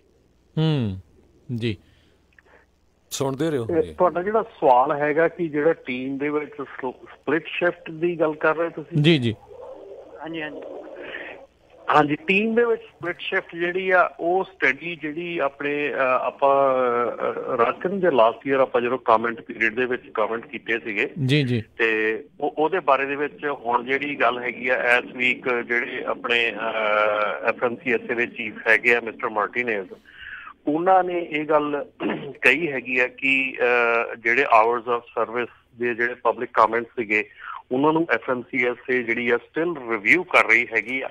ਤੇ ਉਹਦੇ ਵਿੱਚ ਜਿਹੜਾ ਫੈਸਲਾ ਹੈਗਾ ਆ, ਉਹ ਆਉਣ ਦੀ ਪੂਰੀ ਜਿਹੜੀ ਇਸ ਵੇਲੇ ਆਸ ਹੈਗੀ ਹੈ ਕਿ ਜਲਦੀ ਹੀ ਉਹਦੇ ਵਿੱਚ ਜਿਹੜਾ ਫੈਸਲਾ ਆ ਉਹ ਆ ਸਕਦਾ ਆ।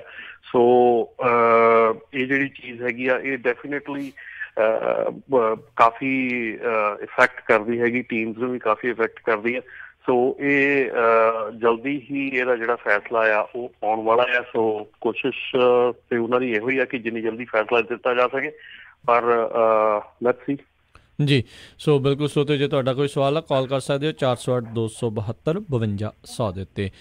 ਕਮਲ ਜੀ ਕਰੀ ਆਪਣੇ ਨਾਲ ਫੇਰ ਜੁੜੇ ਨੇ। ਜੀ ਕਮਲ ਜੀ ਹਾਂਜੀ ਭਾਜੀ ਪਾਪਾ ਜੇ ਆਪਣਾ ਬੰਦੇ ਨੇ ਕਿਸੇ ਨੇ ਆਪਣੇ ਪਰਸਨਲ ਇੰਟਰਸਟ ਲਈ ਡਰਗ ਟੈਸਟ ਜਾ ਕੇ ਆਪਣਾ ਆਪਣੀ ਪੱਖ ਕੇ ਪੇ ਕਰਕੇ ਉਹ ਕਰੇਗਾ ਉਹਦੀ ਰੈਕੋਰਡ ਹੀ ਵੀ ਡਿਊਟੀ ਵਿੱਚ ਰਹੇਗਾ। ਪਰਸਨਲ ਇੰਟਰਸਟ ਲਈ ਜੀ ਐਕਚੁਅਲੀ ਕੋਈ ਵੀ ਡਰਗ ਟੈਸਟ ਜਿਹੜਾ ਏਜੰਸੀ ਦੇ ਥਰੂ ਜਾਊਗਾ that will be recorded so ਉਹ ਜਿਹੜਾ ਆ ਡਾਟਾਬੇਸ ਚ ਰਹੂਗਾ। ਡਾਟਾਬੇਸ ਚ ਰਹੂਗਾ ਜੀ। ਬੇਸਿਕਲੀ ਜੇ ਤੁਸੀਂ ਡਰਗ ਟੈਸਟ ਕਰਾਇਆ ਤੇ ਉਹ ਜਿਹੜਾ ਇਕੱਠਾ ਹੈਗਾ ਕੰਪਰੀਹੈਂਸਿਵ ਡਾਟਾਬੇਸ ਸੋਚ ਰਹੇ। ਚੀਜ਼ਾਂ ਜਿਹੜੀਆਂ ਜਿਹੜੀਆਂ ਕਲੀਅਰਿੰਗ ਹਾਊਸ ਦੀਆਂ ਜਿੰਨੀਆਂ ਵੀ ਡਰਗ ਵਾਇਲੇਸ਼ਨਸ ਆ ਮੈਂ ਇੱਕ ਬੜੇ ਆ ਇੱਕ ਬੜੇ ਧਿਆਨ ਨਾਲ ਗੱਲ ਸੁਣਨ ਵਾਲੀ ਆ ਔਰ ਮੈਂ ਸਾਰਿਆਂ ਨੂੰ ਇਹ ਕਹਿਣੀ ਚਾਹਣਾ ਕਿ ਅੱਜ ਤੱਕ ਜੋ ਵੀ ਕੁਝ ਹੋ ਰਿਹਾ ਸੀਗਾ ਜਿੱਦਾਂ ਵੀ ਕੁਝ ਹੋ ਰਿਹਾ ਸੀਗਾ ਚੱਲ ਰਿਹਾ ਸੀਗਾ ਬਹੁਤ ਐਸੇ, ਐਸੀਆਂ ਜਿਹੜੀਆਂ ਦਵਾਈਆਂ ਇਸ ਵੇਲੇ ਜਿਹੜੀਆਂ ਆਪਾਂ ਖਾਂਦੇ ਆ ਪੇਨ ਕਿਲਰਸ ਖਾਂਦੇ ਆ, ਜਿਹੜੀਆਂ ਆਲਰੇਡੀ ਡਰੱਗ ਟੈਸਟ ਦੇ ਵਿੱਚ ਪੋਜ਼ਿਟਿਵ ਆਉਣ ਤੇ ਉਹ ਤੁਹਾਡੇ ਡਰੱਗ ਤੇ ਡਰੱਗ ਰੈਕਟ ਤੇ ਜਿਹੜੀਆਂ ਇਫੈਕਟ ਕਰਨਗੀਆਂ। ਸੋ ਉਹ ਜਿਹੜੀਆਂ ਦਵਾਈਆਂ ਹੈਗੀਆਂ, ਉਹ ਜਿਹੜੀਆਂ ਚੀਜ਼ਾਂ ਹੈਗੀਆਂ, ਉਹ ਇਸ ਵੇਲੇ ਤੁਸੀਂ ਜੇ ਲੈਣੇ ਹੈਗੇ ਆ ਤਾਂ ਪਲੀਜ਼ ਆਪਣੇ ਡਾਕਟਰ ਨਾਲ ਕੰਸਲਟ ਕਰੋ ਕਿਉਂਕਿ ਇਹ ਚੀਜ਼ਾਂ ਜਦੋਂ ਜਨਵਰੀ 4 2020 ਜਨਵਰੀ 4 2020 ਤੋਂ ਬਾਅਦ ਕੋਈ ਵੀ ਜਿਹੜੀ ਤੁਹਾਡੀ ਪੋਜ਼ਿਟਿਵ ਆਉਂਦੀ ਹੈ ਡਰਗ ਦੇ ਵਿੱਚ, ਉਹ ਤੁਹਾਡੇ ਕਲੀਅਰਿੰਗ ਹਾਊਸ ਦੇ ਵਿੱਚ ਚਲੀ ਜਾਊਗੀ। ਜਨਵਰੀ 4 2020 ਤੋਂ ਪਹਿਲਾਂ ਅੱਜ ਤੱਕ ਜਿਹੜੀ ਕੋਈ ਵੀ ਵਾਇਲੇਸ਼ਨ ਹੈਗੀ ਆ, ਉਹ ਕਲੀਅਰਿੰਗ ਹਾਊਸ ਨਹੀਂ ਆਊਗੀ। ਜਿਹੜੀਆਂ ਉਸ ਤੋਂ ਬਾਅਦ ਵਾਲੀਆਂ ਵਾਇਲੇਸ਼ਨਸ ਹੈਗੀਆਂ, ਉਹ ਆਉਣਗੀਆਂ। ਸੋ ਬਹੁਤ ਛੋਟੀਆਂ-ਛੋਟੀਆਂ ਨਿੱਕੀਆਂ-ਨਿੱਕੀਆਂ ਚੀਜ਼ਾਂ ਹੈਗੀਆਂ, ਜਿਹੜੀਆਂ ਆਪਾਂ ਇਸ ਵੇਲੇ ਅਵੋਇਡ ਕਰਨੀਆਂ ਚਾਹੀਦੀਆਂ ਅਵੋਇਡ ਕਰੋ। ਕਿਉਂਕਿ ਜਦੋਂ ਇਲੈਕਟ੍ਰੋਨਿਕ ਹੋ ਜਾਣੇ ਆ ਤੇ ਆਪਾਂ ਨੂੰ ਪਤਾ ਹੀ ਆ ਵੀ ਇਲੈਕਟ੍ਰੋਨਿਕ ਦੇ ਨਾਲ ਕਿੰਨਾ ਫ਼ਰਕ ਪੈਂਦਾ ਹੈ ਕਿੰਨਾ ਇਸ਼ੂ ਖੜੇ ਹੁੰਦੇ ਆ, ਆਪਾਂ ELD ਤੇ ਦੇਖ ਲਿਆ। ਸੋ ਆ ਜਿਹੜਾ 2019 ਹੈਗਾ, ਬੜਾ ਕ੍ਰਿਟੀਕਲ ਈਅਰ ਹੈਗਾ ਇਸ ਵੇਲੇ ਕਿਉਂਕਿ ਇੱਕ ਤਾਂ ELD ਜਿਹੜੀ AOBRD ਆ, ਉਹ ਵੀ ਚੇਂਜ ਹੋ ਰਹੀ ELD ਚ ਤੇ ਉਹਦੇ ਨਾਲ ਦੇ ਨਾਲ ਹੀ ਡਰੱਗ ਦਾ ਕਲੀਅਰਿੰਗ ਹਾਊਸ ਜਿਹੜਾ ਉਹ ਸਟੈਬਲਿਸ਼ ਹੋ ਰਿਹਾ। ਸੋ ਇਹ ਜਿਹੜਾ ਸਾਲ ਹੈਗਾ ਬਹੁਤ ਹੀ ਕ੍ਰਿਟੀਕਲ ਰਹਿਣਾ ਆ ਆਪਣੇ ਟਰਕਿੰਗ ਇੰਡਸਟਰੀ ਦੇ ਵਿੱਚ। ਜੀ। ਸੋ ਬਿਲਕੁਲ ਤੁਹਾਡੀ ਗੱਲ ਸਹੀ ਆ ਜਿਹੜੀਆਂ ਬਹੁਤ ਸਾਰੀਆਂ ਜਿਹੜੇ ਪੇਨ ਕਿਲਰਸ ਆ ਖਾਸ ਕਰਕੇ ਕੋਡੀਨ ਵਗੈਰਾ ਕਹਿੰਦੇ 1/10 ਆਫ ਮੋਰਫਿਨ ਇਹ ਹੁੰਦੀ ਆ। ਇਹ ਓਪੀਆਇਡ 'ਚ ਵੀ ਕਈ ਦਵਾਈਆਂ ਆਉਂਦੀਆਂ। ਪਿਛਲੇ ਸਾਲਾਂ ਤੋਂ ਓਪੀਆਇਡ ਦਾ ਬਹੁਤ ਜ਼ਿਆਦਾ ਰੌਲਾ ਪਿਆ ਆ, ਸੋ ਬਿਲਕੁਲ ਤੁਹਾਡੀ ਗੱਲ ਸਹੀ ਆ। ਜੇ ਕੋਈ ਪੇਨ ਕਿਲਰ ਵੀ ਲੈਂਦਾ ਆ, ਉਹਨੂੰ ਧਿਆਨ ਰੱਖਣਾ ਚਾਹੀਦਾ ਆ ਵੀ ਉਹ ਕਿਤੇ ਡਰੱਗ ਟੈਸਟ ਦੇ ਵਿੱਚ ਨਾ ਆਵੇ। ਜੀ, ਬਿਲਕੁਲ। ਵੀ ਕਦੋਂ ਕਿੰਨਾ ਚਿਰ ਜਿਹੜਾ ਵਕਫਾ ਜਿਹੜਾ ਹੋਣਾ ਚਾਹੀਦਾ ਆ, ਵੀ ਕਦੋਂ ਕੋਈ ਚਲਾ ਸਕਦਾ ਹੈ ਉਹ ਲੈ ਕੇ ਨਹੀਂ ਚਲਾ ਸਕਦਾ, ਜਾਂ ਕਿੰਨਾ ਜਿਹੜਾ ਉਸ ਦੇ ਵਿੱਚ ਉਹਨਾਂ ਨੂੰ ਟਾਈਮ ਪੀਰੀਅਡ ਚਾਹੀਦਾ ਆ। ਤੇ ਇੱਕ ਛੋਟੀ ਜੀ ਆਪਾਂ ਇੱਕ ਬ੍ਰੇਕ ਲੈ ਕੇ ਵਾਪਸ ਆਉਂਦੇ ਆ। ਸਰੋਤੇ, ਉਹ ਜਿਹੜੇ ਹੋਰ ਤੁਹਾਡੇ ਜਿਹੜੇ ਸਵਾਲ ਤੁਸੀਂ ਕਾਲ ਕਰ ਰਹੇ ਹੋ, ਤੁਹਾਡੇ ਸਵਾਲ ਵੀ ਜਿਹੜੇ ਆਪਾਂ ਆਨਰ ਜਿਹੜੇ ਲੈ ਕੇ ਚੱਲਦੇ ਆ ਤੇ ਮਿਲਦੇ ਆ ਇੱਕ ਛੋਟੀ ਜੀ ਬ੍ਰੇਕ ਤੋਂ ਬਾਅਦ ਇਦਾਂ ਜੁੜੇ ਰਹੋ ਪੰਜਾਬੀ ਰੇਡੀਓ ਯੂਐਸਏ ਦੇ ਨਾਲ। ਕਾਲ ਕਰਨ ਦੇ ਲਈ ਨੰਬਰ ਆ 408 272 5200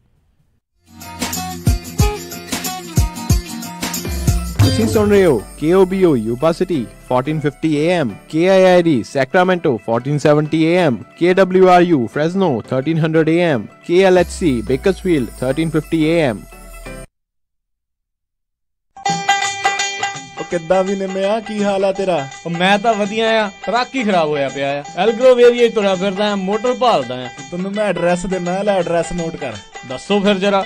9875 ਡਾਇਨੋ ਡਰਾਈਵ ਐਲਗਰੋਵ ਬਈ ਮੋਟਰ ਦਾ ਨਾਂ ਕੀ ਆ? ਓਏ ਮੋਟਰ ਨਹੀਂ ਹੈਗਾ। ਇਹ ਹੈਗਾ address US truck and trailer repair ਵਾਲਿਆਂ ਦਾ। ਬੀਬਾ ਪੁੱਤ ਬਣ ਕੇ ਆਪਣਾ ਟਰੱਕ ਠੀਕ ਕਰਾ ਤੇ ਸ਼ਾਮੀ ਟਾਈਮ ਸਿਰ ਘਰੇ ਜਾ ਭਰਜਾਈ ਡੀਕਦੀ ਹੁੰਦੀ US truck and trailer repair ਜਿਨ੍ਹਾਂ ਕੋਲੋਂ ਤੁਸੀਂ engine work transmission rear end clutch oil change ਜਾਂ ਬ੍ਰੇਕ ਸਰਵਿਸ ਵਰਗਾ ਕੋਈ ਵੀ ਕੰਮ ਕਰਾ ਸਕਦੇ ਹੋ ਇਹ ਹਰ ਤਰੀਕੇ ਦੇ ਟਰੱਕ ਅਤੇ ਟ੍ਰੇਲਰਾਂ ਦੀਆਂ ਅਲਾਈਨਮੈਂਟ ਅਤੇ ਮੁਰੰਮਤ ਕਰਦੇ ਨੇ ਤੇ ਤੁਸੀਂ ਇਹਨਾਂ ਤੋਂ ਆਪਣੇ ਟਰੱਕਾਂ ਲਈ ਪੁਰਾਣੇ ਅਤੇ ਨਵੇਂ ਟਾਇਰ ਬਹੁਤ ਹੀ ਵਾਜਿਬ ਦਾਮਾਂ ਤੇ ਵੀ ਖਰੀਦ ਸਕਦੇ ਹੋ ਇਹ ਹਫ਼ਤੇ ਦੇ 7 ਦਿਨ ਸਵੇਰੇ 8 ਤੋਂ ਲੈ ਕੇ 6 ਵਜੇ ਤੱਕ ਖੁੱਲੇ ਰਹਿੰਦੇ ਨੇ ਹੋਰ ਜਾਣਕਾਰੀ ਲਈ ਆਪ ਜੀ ਕਾਲ ਕਰੋ 916 686 2664 916 686 2664 ਇਹਨਾਂ ਦਾ ਐਡਰੈਸ ਹੈ 9875 Dino Drive Elk Grove California Manjinder ਆ ਕੇ ਘਰ ਦੇ ਵਿੱਚ ਕਾਗਜ਼ ਪੱਤਰ ਜੇ ਖਲਾਰੇ ਹੋਏ ਆ। ਅਜੇ ਰਾਤ ਹੀ ਤਾਂ ਤੁਸੀਂ ਕੰਮ ਤੋਂ ਆਏ ਹੋ। ਜੋ ਥੋੜੇ ਚਿਰ ਤੱਕ ਆਪਾਂ ਟੈਕਸ ਭਰਨਾ। ਉਹਦੀ ਤਿਆਰੀ ਕਰ ਰਿਹਾ ਸੀ ਤੇ ਬੜਾ ਫਿਕਰ ਲੱਗਿਆ ਹੋਇਆ ਮੈਨੂੰ। ਫਿਕਰ ਨਾ ਕਰੋ ਆਪਾਂ ਚੱਲਦੇ ਆ ਇੰਦਰਪਾਲ ਸਿੰਘ ਮਿਆਲ ਆਈਬੀਐਸ ਟੈਕਸ ਵਾਲਿਆਂ ਦੇ ਜਿਹੜੇ ਕਿ 1982 ਤੋਂ ਟੈਕਸ ਭਰਨ ਦੇ ਵਿੱਚ ਲੋਕਾਂ ਦੀ ਮਦਦ ਕਰਦੇ ਆ ਰਹੇ ਹਨ। ਜਿੱਥੋਂ ਤੁਸੀਂ ਭਰਵਾ ਸਕਦੇ ਹੋ ਇੰਡੀਵਿਜੂਅਲ ਬਿਜ਼ਨਸ ਪਾਰਟਨਰਸ਼ਿਪ ਕਾਰਪੋਰੇਟ ਦਾ ਹਰ ਇੱਕ ਤਰ੍ਹਾਂ ਦਾ ਟੈਕਸ ਅਤੇ ਕਰਦੇ ਹਨ ਫ੍ਰੀ ਇਨੀਸ਼ੀਅਲ ਕੰਸਲਟੇਸ਼ਨ ਇਹਨਾਂ ਦਾ ਭਰੋਸੇਯੋਗ ਸਟਾਫ ਹਰ ਇੱਕ ਪ੍ਰਕਾਰ ਦੇ ਨਾਲ ਤੁਹਾਡੀ ਮਦਦ ਕਰਦਾ ਹੈ। IBS tax service tax and accounting corporation ਅਤੇ ਇਹਨਾਂ ਦੀਆਂ ਦੋ ਬ੍ਰਾਂਚਾਂ ਹਨ ਸੈਕਰਾਮੈਂਟੋ ਨਟੋਮਸ ਬ੍ਰਾਂਚ ਦੇ ਲਈ ਗੱਲ ਕਰ ਸਕਦੇ ਹੋ। ਇੰਦਰਪਾਲ ਸਿੰਘ ਮਿਆਲ ਜੀ ਨਾਲ 9166412585 9166412585 2087 ਅਰੇਨਾ ਬੁਲੇਵਾਰਡ ਸੂਈਟ 140 ਅਤੇ ਯੂਨੀਵਰਸਿਟੀ ਬ੍ਰਾਂਚ ਦੇ ਲਈ 5306747161 530 327 ਪਰਸੀ ਐਵੇਨਿਊ ਯੂਨੀਵਰਸਿਟੀ ਜੋ ਤੂੰ ਤਾਂ ਮੇਰੀ ਮੁਸ਼ਕਿਲ ਆਸਾਨ ਕਰਤੀ ਆ। ਚੱਲ ਫਿਰ ਚੱਲਦੇ ਆ ਆਈਬੀਐਸ ਟੈਕਸ ਸਰਵਿਸ ਵਾਲਿਆਂ ਦੇ। ਨਵੇਂ ਕਲਾਇੰਟਸ ਵਾਸਤੇ ਟੈਕਸ ਪ੍ਰੈਪਰੇਸ਼ਨ ਸਰਵਿਸ ਤੇ 10 ਡਾਲਰ ਆਫ ਰੱਖੇ ਗਏ ਹਨ। ਅਮਨ ਆਪਾਂ ਸੈਕਰਾਮੈਂਟੋ ਵਿੱਚ ਮੂਵ ਤਾਂ ਹੋ ਗਏ ਆ ਹੁਣ ਇੱਥੇ ਆਪਾਂ ਚੰਗਾ ਜਿਹਾ ਡਾਕਟਰ ਤੇ ਫੈਮਿਲੀ ਕਲੀਨਿਕ ਵੀ ਲੱਭ ਲਈਏ। ਤੁਸੀਂ ਫਿਕਰ ਹੀ ਛੱਡ ਦਿਓ ਜੀ। ਮੇਰੀ ਫਰੈਂਡ ਰਿਤੂ ਦੀ ਕਾਲ ਆਈ ਸੀ ਉਹਨੇ ਮੈਨੂੰ ਨੰਬਰ ਦਿੱਤਾ ਹੈ ਤਖਰ ਅਰਜੈਂਟ ਕੇਅਰ ਅਤੇ ਫੈਮਿਲੀ ਮੈਡੀਸਨ ਵਾਲਿਆਂ ਦਾ। ਅੱਛਾ।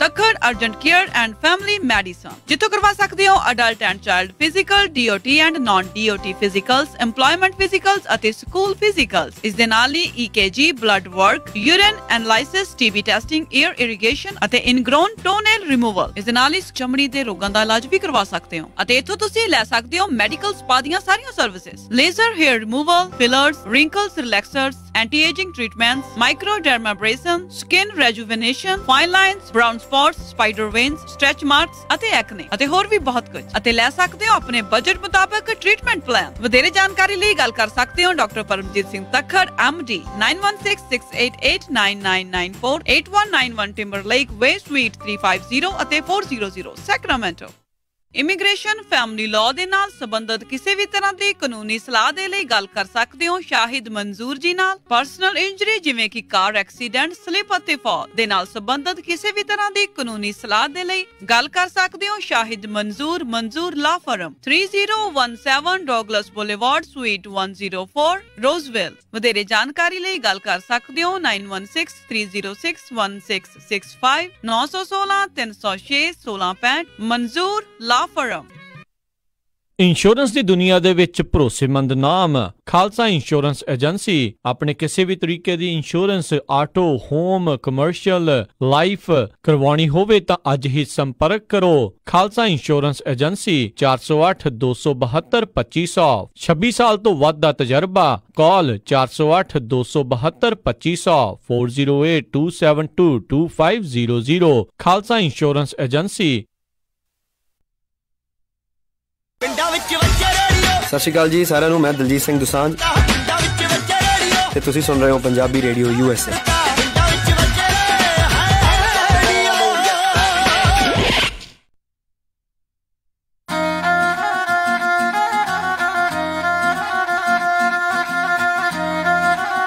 Punjabi radio USA ਸੁਣ ਰਹੇ ਸਾਰੇ ਸਰੋਤਿਆਂ ਨੇ ਇੱਕ ਵਾਰੀ ਫੇਰ ਜੀ ਆਇਆਂ ਨੂੰ ਸਵਾਗਤ ਹੈ। ਸਤਿ ਸ਼੍ਰੀ ਅਕਾਲ ਜੀ ਰਮਨ ਜੀ ਹਰਜੋਤ ਜੀ ਸਵਾਗਤ ਹੈ ਜੀ ਆਇਆਂ ਨੂੰ। ਸਤਿ ਸ਼੍ਰੀ ਅਕਾਲ। ਧੰਨਵਾਦ ਜੀ ਸਤਿ ਸ਼੍ਰੀ ਅਕਾਲ। ਜੀ। ਤੇ ਆਪਣੇ ਅਗਲੇ ਜਿਹੜੇ ਕਾਲਰਸ ਉਹਨਾਂ ਦੇ ਨਾਲ ਗੱਲ ਕਰਦੇ ਹਾਂ ਆਪਣੇ ਨਾਲ ਜੁੜੇ ਨੇ ਮਲਕੀਤ ਜੀ। ਸਤਿ ਸ਼੍ਰੀ ਅਕਾਲ ਸਵਾਗਤ ਹੈ ਜੀ। ਹਾਂਜੀ ਵਾਹਿਗੁਰੂ ਜੀ ਕਾ ਖਾਲਸਾ ਸਾਹਿਬ ਵਾਹਿਗੁਰੂ ਜੀ ਕੀ ਫਤਿਹ। ਹਾਂਜੀ ਮੈਂ ਭਾਜੀ ਨੂੰ ਕੁਐਸਚਨ ਪੁੱਛਣਾ ਚਾਹੁੰਦਾ ਸੀ ਰਮਨ ਜੀ ਨੂੰ। ਜੀ ਪੁੱਛੋ ਜੀ। ਤੇ ਹਾਂਜੀ ਸਾਡੇ ਨਾਲ ਜਿੱਦਾਂ ਡਰਾਈਵਰ ਹੈ ਕੰਪਨੀ ਦੇ ਨਾਲ ਇੱਥੇ ਪ੍ਰੈਜ਼ਨੋ ਤੋਂ ਹੀ ਆ। ਉਹਦਾ ਡਰੱਗ ਟੈਸਟ ਕਰਾਇਆ ਸੀਗਾ ਜਿੱਦਾਂ ਉਹਦਾ ਡਰੱਗ ਟੈਸਟ ਪੋਜ਼ਿਟਿਵ ਆ ਗਿਆ ਹਨਾ? ਤੇ ਉਹ ਮੁੰਡਾ ਕੁਝ ਖਾਂਦਾ ਪੀਂਦਾ ਕੋਈ ਕੁਝ ਨਹੀਂ ਹੈਗਾ ਜਿੱਦਾਂ ਬਿਲਕੁਲ ਵੀ। ਹੂੰ ਹੂੰ। ਤਾਂ ਉਹ ਤੋਂ ਬਾਅਦ ਉਹਨਾਂ ਨੇ ਉਹ ਕਹਿੰਦੇ ਵੀ ਇਹਨੂੰ ਕਲਾਸ ਲੈਣੀ ਪੈਣੀ ਹੈ ਤੇ ਮਹਿਰਬਾਨਾ ਸੀ। ਉਹ ਕਹਿੰਦੇ ਵੀ ਮਹਿਰਬਾਨਾ ਹੈ ਪੋਜ਼ਿਟਿਵ ਤਾਂ ਉਸ ਤੋਂ ਬਾਅਦ ਕਲਾਸ ਲੈ ਕੇ ਰਿਟਰਨ ਟੂ ਡਿਊਟੀ ਹੋ ਗਿਆ। ਫਿਰ ਉਹਨਾਂ ਨੂੰ ਅਸੀਂ ਦੂਜੇ ਦਿਨੇ ਜਾ ਕੇ ਇੱਥੇ ਕੰਪਨੀ ਫਰੈਜ਼ਨ ਜਾਂ ਟੀਐਲਸੀ ਵਾਲੇ ਦੂਜੇ ਦਿਨੇ ਜਾ ਕੇ ਅਸੀਂ ਉਹਨਾਂ ਨੂੰ ਕਿਹਾ ਵੀ ਇਹਦਾ ਖਾਂਦਾ ਪੀਂਦਾ ਕੁਝ ਨਹੀਂ ਹੈਗਾ ਇਹ ਕਿਦਾਂ ਹੋ ਗਿਆ? ਉਹ ਕਹਿੰਦੇ ਵੀ ਅਸੀਂ ਜੋ ਰਿਪੋਰਟ ਆਈ ਅਸੀਂ ਤਾਂ ਉਹੀ ਕੁਝ ਦੱਸਿਆ ਤੁਹਾਨੂੰ। ਤੇ ਉਹਨਾਂ ਨੂੰ ਡਰੱਗ ਟੈਸਟ ਦੁਬਾਰਾ ਦੋ ਵਾਰ ਕਰਾ ਕੇ ਬਾਹਰੋਂ ਦਿੱਤਾ ਅਸੀਂ ਤੇ ਉਹ ਮੰਨਦੇ ਹੀ ਨਹੀਂ ਹੈਗੇ। ਅਸੀਂ ਉਹਨਾਂ ਨੂੰ ਕਿਹਾ ਵੀ ਜਿਹੜਾ ਮੈਰਵਾਨਾ ਉਹ ਤਾਂ 35 ਡੇਜ਼ ਰਹਿੰਦਾ ਬਲੱਡ ਦੇ ਵਿੱਚ ਹੈ ਨਾ ਹੂੰ ਹੂੰ। ਹਾਂਜੀ ਇਹਦੇ ਵਿੱਚ ਮੋਸਟਲੀ ਜਿਹੜੀ ਡਰੱਗ ਟੈਸਟਿੰਗ ਫੈਸਿਲਿਟੀ ਹੈਗੀ ਆ ਉਹਦਾ ਕੋਈ ਲੈਣਾ ਦੇਣਾ ਨਹੀਂ ਹੈਗਾ। ਇਹਦੇ ਵਿੱਚ ਉਹਦਾ ਕੋਈ ਜ਼ੋਰ ਨਹੀਂ ਹੈਗਾ ਕਿਉਂਕਿ ਚਾਹੇ ਉਹ ਕੋਈ ਵੀ ਡਰੱਗ ਟੈਸਟਿੰਗ ਫੈਸਿਲਿਟੀ ਹੈਗੀ ਆ, ਉਹ ਆਪ ਡਰੱਗ ਟੈਸਟ ਤੁਹਾਡਾ ਨਹੀਂ ਕਰਦੇ, ਉਹ ਸਿਰਫ ਸੈਂਪਲ ਕਲੈਕਟ ਕਰਦੇ ਆ। ਡਰੱਗ ਟੈਸਟ ਜਿਹੜੀਆਂ ਦੋ ਚਾਰ ਵੱਡੀਆਂ ਜਿਹੜੀਆਂ ਏਜੰਸੀਜ਼ ਹੈਗੀਆਂ ਆ ਉਹੀ ਕਰਦੀਆਂ ਹੈਗੀਆਂ। ਸੋ ਜੋ ਵੀ ਡਰੱਗ ਦੇ ਵਿੱਚ ਟੈਸਟ ਆਇਆ ਹੋਏਗਾ ਜਿਹੜੀ ਵੀ ਤੁਹਾਡੀ ਡਰੱਗ ਟੈਸਟਿੰਗ ਫੈਸਿਲਿਟੀ ਹੈ, ਜਿਹਨੂੰ ਜੇ ਆਪਾਂ ਤੁਸੀਂ ਜਿਹੜਾ ਵੀ ਨਾਲਿਆ ਮੇਰੇ ਖਿਆਲ ਤੇ ਫ੍ਰਿਜ਼ਨੋ ਦੇ ਵਿੱਚ ਹੈਗੇ ਨੇ ਟੀਐਲਸੀ ਸੋ ਉਹਨਾਂ ਦਾ ਜਿਹੜਾ ਕੋਈ ਜ਼ੋਰ ਨਹੀਂ ਹੈਗਾ ਇਹਦੇ ਵਿੱਚ ਜਾਂ ਕੋਈ ਉਹਨਾਂ ਦਾ ਵਿੱਚ, ਇਹਦੇ ਵਿੱਚ ਲੇਖਾ ਦੇਖਾ ਨਹੀਂ ਹੈਗਾ। ਉਹਨਾਂ ਨੇ ਜੋ ਰਿਜ਼ਲਟ ਆਇਆ ਆ, ਉਹ ਤੁਹਾਡਾ ਪੋਸਟ ਕਰਨਾ ਹੈ ਤੁਹਾਡੇ ਏਜੰਸੀ ਦੇ ਨਾਲ। ਪਰ ਜੇ ਉਹਦੇ ਵਿੱਚ ਚੇਂਜਸ ਕੋਈ ਨਹੀਂ ਆ ਸਕਦੀਆਂ ਕਿ ਜੋ ਪੋਜ਼ਿਟਿਵ ਆਇਆ ਉਹਦੇ ਵਿੱਚ ਚੇਂਜਸ ਨਹੀਂ ਆ ਸਕਦੀਆਂ। ਹਾਂ ਤੁਸੀਂ ਜਿਹੜਾ ਰਿਟਰਨ ਟੂ ਡਿਊਟੀ ਜਿਹੜਾ ਉਹਨਾਂ ਨੇ ਤੁਹਾਨੂੰ ਦਿੱਤਾ ਆ ਤੁਹਾਡਾ ਕਲਾਸਿਸ ਦਿੱਤੀਆਂ ਸਾਰੀਆਂ ਉਹ ਲਾ ਕੇ ਦੈਨ ਡਾਊਨ ਦਾ ਰੋਡ ਜਿਹੜਾ ਉਹ ਡਰਾਈਵਰ ਜੇ ਤੁਸੀਂ ਅੱਜ ਹੀ ਉਹਦੇ ਡਰਗ ਟੈਸਟ ਕਰਵਾ ਕੇ ਵਾਪਸ ਜਾਂਦੇ ਆ ਉਹਨਾਂ ਨੂੰ ਫੇਰ ਕਹਿੰਦੇ ਵੀ ਉਹਨੂੰ ਚੇਂਜ ਕਰ ਦਿਓ ਕਿ ਆਹ ਡਰਗ ਟੈਸਟ ਅਸੀਂ ਕਰਾਇਆ ਇਹ ਨੈਗੇਟਿਵ ਆਇਆ। ਸੋ ਉਹ ਚੇਂਜ ਨਹੀਂ ਹੋਣੀ। ਉਹ ਉਹ ਉਦਾਂ ਹੀ ਰਹਿਣੀ ਆ। ਡਾਊਨ ਦਾ ਰੋਡ ਜਿਹੜਾ ਆ, ਉਹ ਤੁਸੀਂ ਵੋਲੰਟਰੀਲੀ ਉਹਦੇ ਕੋਲੋਂ ਡਰਗ ਟੈਸਟ ਕਰਵਾ ਕੇ ਦੁਬਾਰਾ ਸਬਮਿਟ ਕਰ ਸਕਦੇ ਆ ਕਿ he is staying clean he is not doing anything ਉਹ ਸਾਰੀਆਂ ਚੀਜ਼ਾਂ ਹੋ ਸਕਦੀਆਂ, ਪਰ ਜੇ ਆਪਾਂ ਉਸ ਚੀਜ਼ ਨੂੰ ਚੇਂਜ ਕਰਨਾ ਚਾਹੀਏ ਜਿਹੜੀ ਉਦੋਂ ਹੋਈ ਆ, ਉਹ ਚੀਜ਼ ਚੇਂਜ ਨਹੀਂ ਹੋਣੀ। ਜੀ। ਤੇ ਰਮਨ ਜੀ, ਇੱਥੇ ਫਿਰ ਇੱਕ ਸਵਾਲ ਇਹ ਵੀ ਉੱਠਦਾ ਹੈ ਵੀ ਫਿਰ ਜਿਹੜੇ ਸੈਂਪਲ ਕਲੈਕਸ਼ਨ ਕਰਦੀਆਂ ਨੇ ਜਿਹੜੀਆਂ ਇਹ ਏਜੰਸੀਆਂ, ਜਿਹੜੀਆਂ ਟੈਸਟਿੰਗ ਵਾਲੀਆਂ ਤੋਂ ਕਰਦੀਆਂ ਆ, ਕੀ ਫਿਰ ਉੱਥੇ ਕੋਈ ਕੁਤਾਹੀ ਹੋ ਰਹੀ ਆ ਜਾਂ ਫਿਰ ਕੀ ਸਵਾਲ ਤਾਂ ਕਈ ਤਰੀਕੇ ਦੇ ਉੱਠਣਗੇ ਵੀ ਜਾਂ ਜਿਹੜਾ ਉਹਨਾਂ ਨੇ ਬਾਹਰੋਂ ਕਰਾਇਆ ਆ, ਉੱਥੇ ਸੈਂਪਲ ਦੀ ਕੁਤਾਹੀ ਆ ਜਾਂ ਜਿਨ੍ਹਾਂ ਨੇ ਐਕਚੁਅਲ ਸੈਂਪਲ ਕਲੈਕਟ ਕਰਕੇ ਘੱਲਿਆ, ਉੱਥੇ ਕੁਤਾਹੀ ਆ। ਇਸ ਦਾ ਨਤਾਰਾ ਜਿਹੜਾ ਕਿੱਦਾਂ ਹੋਇਆ ਕਰੂ ਫਿਰ? ਦੇਖੋ ਇਹ ਇਹ ਇੱਕ ਸਿਚੁਏਸ਼ਨ ਐਸੀ ਹੈਗੀ ਹੈ ਜਿਹੜੀ ਕਿ ਜਿਹਨੂੰ ਆਪਾਂ ਕਹਿ ਦਿੰਦੇ ਗ੍ਰੇ ਏਰੀਆ ਹੈਗਾ ਠੀਕ ਹੈ ਨਾ? ਕਿ ਇਹਦੇ ਵਿੱਚ ਹੁਣ ਆਪਾਂ ਵੀ ਦੇਖਿਆ ਕਿ ਕਈ ਏਜੰਸੀਜ਼ ਆ ਜਿਨ੍ਹਾਂ ਦੇ ਵਿੱਚ ਸੈਂਪਲ ਕਲੈਕਸ਼ਨ ਦੀ ਜਿਹੜੀ ਆ ਉਹ ਥੋੜੀ ਜੀ ਈਜ਼ ਹੁੰਦੀ ਆ ਉੱਥੇ ਸੌਖੇ ਤਰੀਕੇ ਨਾਲ ਸੈਂਪਲਸ ਦਿੱਤੇ ਜਾਂਦੇ ਆ ਬਦਲੇ ਜਾਂਦੇ ਆ ਕਈ ਕੁਝ ਹੁੰਦਾ ਆ। ਪਰ ਜਿਹੜੀਆਂ ਇਦਾਂ ਹੀ ਜਿਹੜੀ ਪਹਿਲਾਂ ਦੇਖੋ ਹੁਣ ਜਿਹੜੀ ਗਵਰਨਮੈਂਟ ਹੈਗੀ ਆ ਉਹਨਾਂ ਨੇ ਇੱਕ ਇੱਕ ਏਰੀਆ ਜਿਹੜਾ ਉਹਨੂੰ ਹੌਲੀ ਹੌਲੀ ਕਰਕੇ ਸਾਫ਼ ਕਰਨਾ ਆ। ਸਾਰਾ ਜਿਹੜਾ ਸਿਸਟਮ ਹੈ ਇੱਕ ਵਾਰੀ ਨਹੀਂ ਸਾਫ਼ ਹੋ ਸਕਦਾ। ਜੇ ਉਹਨਾਂ ਨੇ ਪਹਿਲਾਂ ਜਿਹੜਾ ਇਹਦਾ ਡਾਟਾ ਆ ਹੁਣ ਇਸ ਵੇਲੇ ਜਿਹੜੇ ਵੱਡਾ ਸਾਰਾ ਨਾਲੋਂ ਇਸ਼ੂ ਹੈਗਾ ਆ ਡਰਗ ਐਂਡ ਟੈਸਟ ਅਲਕੋਹਲ ਦਾ ਅਲਕੋਹਲ ਟੈਸਟ ਦਾ ਜਿਹੜਾ ਸਾਰਾ ਨਾਲੋਂ ਵੱਡਾ ਇਸ਼ੂ ਆ ਉਹ ਇਹ ਆ ਕਿ ਇਹਦਾ ਡਾਟਾ ਜਿਹੜਾ ਉਹ ਸੈਂਟਰਲਾਈਜ਼ ਅਵੇਲੇਬਲ ਨਹੀਂ ਸੀਗਾ। ਸਾਰਾ ਨਾਲੋਂ ਵੱਡਾ ਇਸ਼ੂ ਸੀ। ਉਹ ਹੁਣ ਉਹਨਾਂ ਨੇ ਟਰਾਈ ਕੀਤੀ ਕਿ ਇਹਨੂੰ ਡਰਗ ਐਂਡ ਅਲਕੋਹਲ ਜਿਹੜਾ ਟੈਸਟ ਰਿਜ਼ਲਟਸ ਹੈਗੇ ਆ, ਇਹਨੂੰ ਸੈਂਟਰਲਾਈਜ਼ ਕੀਤਾ ਜਾਵੇ। ਜਦੋਂ ਇੱਕ ਵਾਰੀ ਸੈਂਟਰਲਾਈਜ਼ ਹੋ ਗਿਆ ਦੈਨ ਉਸ ਤੋਂ ਬਾਅਦ ਉਹ ਧਿਆਨ ਦੇਣਗੇ ਕਿ ਟੈਸਟਿੰਗ ਫੈਸਿਲਿਟੀਆਂ ਜਿਹੜੀਆਂ ਆ, ਉਹਨਾਂ ਦੇ ਉੱਤੇ ਕੋਈ ਨਾ ਕੋਈ ਰੂਲ ਐਂਡ ਰੈਗੂਲੇਸ਼ਨ ਹੋਣਗੇ ਇਸ ਵੇਲੇ ਜਿਹੜੀਆਂ ਸਹੀ ਟੈਸਟਿੰਗ ਫੈਸਿਲਿਟੀਆਂ ਹੈਗੀਆਂ, ਮੇਰੇ ਫਰੈਂਡ ਹੈਗੇ ਆ, ਉੱਥੇ ਆਪਣੇ ਸੈਕਰਾਮੈਂਟੋ ਹੈਗੇ, ਉਹ ਕਰਦੇ ਆ।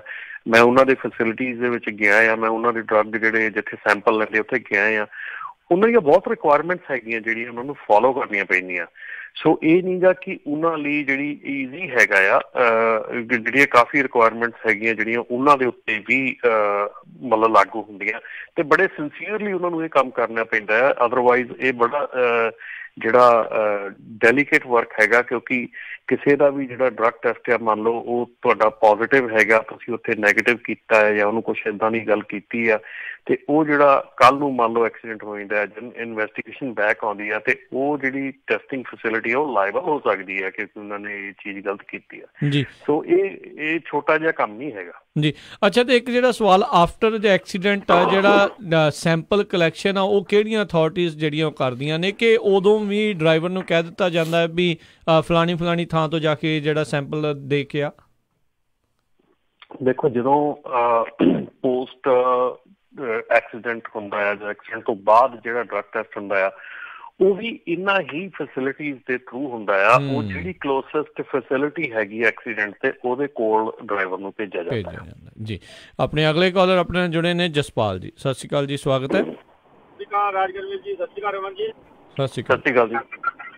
ਮੇਰਾ ਸਵਾਲ ਸੀਗਾ ਜੀ, weight ਬਾਰੇ ਜਿੱਦਾਂ ਕਈ ਵਾਰੀ ਇਦਾਂ ਹੁੰਦਾ, ਆਪਣੇ ਕੋਲ ਗ੍ਰੋਸ ਜਿਹੜੀ ਆ ਅੰਡਰ ਹੁੰਦੀ ਆ, ਜਿੱਦਾਂ ਤੇ ਕਿਸੇ ਐਕਸਲ ਤੇ weight ਵੱਧ ਹੁੰਦਾ, ਇਹਦੇ ਵੱਲੋਂ ਕੋਈ ਅਪਰੂਵਡ ਵੀ ਆਪਾਂ ਨੂੰ ਕੋਈ ਹੈਗਾ ਕਿ ਹਾਂ ਵੀ ਆਪਾਂ ਲੈ ਕੇ ਜਾ ਸਕਦੇ ਆ, ਕਿੰਨੇ ਪਾਉਂਡ ਤੱਕ ਜਾਂ ਕਿੰਨੇ ਕੇਜੀ ਤੱਕ ਆਪਾਂ ਲੈ ਕੇ ਜਾ ਸਕਦੇ ਆ, ਜੇ ਐਕਸਲ weight ਵੱਧਦਾ ਗ੍ਰੋਸ ਠੀਕ ਹੈਗੀ ਆਪਣੀ, ਉਹਦੇ ਬਾਰੇ ਕੋਈ ਜਾਣਕਾਰੀ ਹੈਗੀ ਤਾਂ ਦੱਸਿਓ ਜੀ ਡਿਊਟੀ ਵੱਲ, ਕੋਈ ਸਾਡੀ, ਜਿੱਦਾਂ ਕੋਈ ਭਾਜੀ, ਜੇ ਜੇ ਤੁਹਾਡਾ ਈਵਨ ਗ੍ਰੋਸ weight ਜਿਹੜਾ 80000 ਹੈਗਾ, ਜੇ ਗ੍ਰੋਸ weight ਤੁਹਾਡਾ ਮੰਨ ਲਓ 79000 ਹੈਗਾ ਆ ਅੰਡਰ ਦਾ ਗ੍ਰੋਸ ਹੈਗੇ ਆ ਤੁਸੀਂ, ਪਰ ਤੁਹਾਡਾ ਐਕਸਲ weight ਜਿਹੜਾ ਉਹ ਵੱਧਦਾ ਆ ਉਹਦੇ ਵਿੱਚ ਕੋਈ ਛੋਟ ਨਹੀਂ ਹੈਗੀ, ਉਹਦੇ ਵਿੱਚ ਕੋਈ ਐਸਾ ਪ੍ਰੋਵੀਜ਼ਨ ਨਹੀਂ ਹੈਗਾ ਕਿ ਤੁਸੀਂ ਸਟੀਅਰ ਦੇ ਉੱਤੇ ਜਿਹੜਾ ਆ, ਉਹ 1000 ਪਾਉਂਡ ਵੱਧ ਹੋਵੇ ਜਾਂ ਤੁਹਾਡਾ ਡਰਾਈਵ ਦੇ ਉੱਤੇ ਜਿਹੜਾ ਵੱਧ ਹੋਵੇ 1000 1500 ਪਾਉਂਡ ਵੱਧ ਆ ਤੇ ਪਰ ਤੁਸੀਂ ਗ੍ਰੋਸ ਤੋਂ ਥੱਲੇ ਹੈਗੇ ਆ।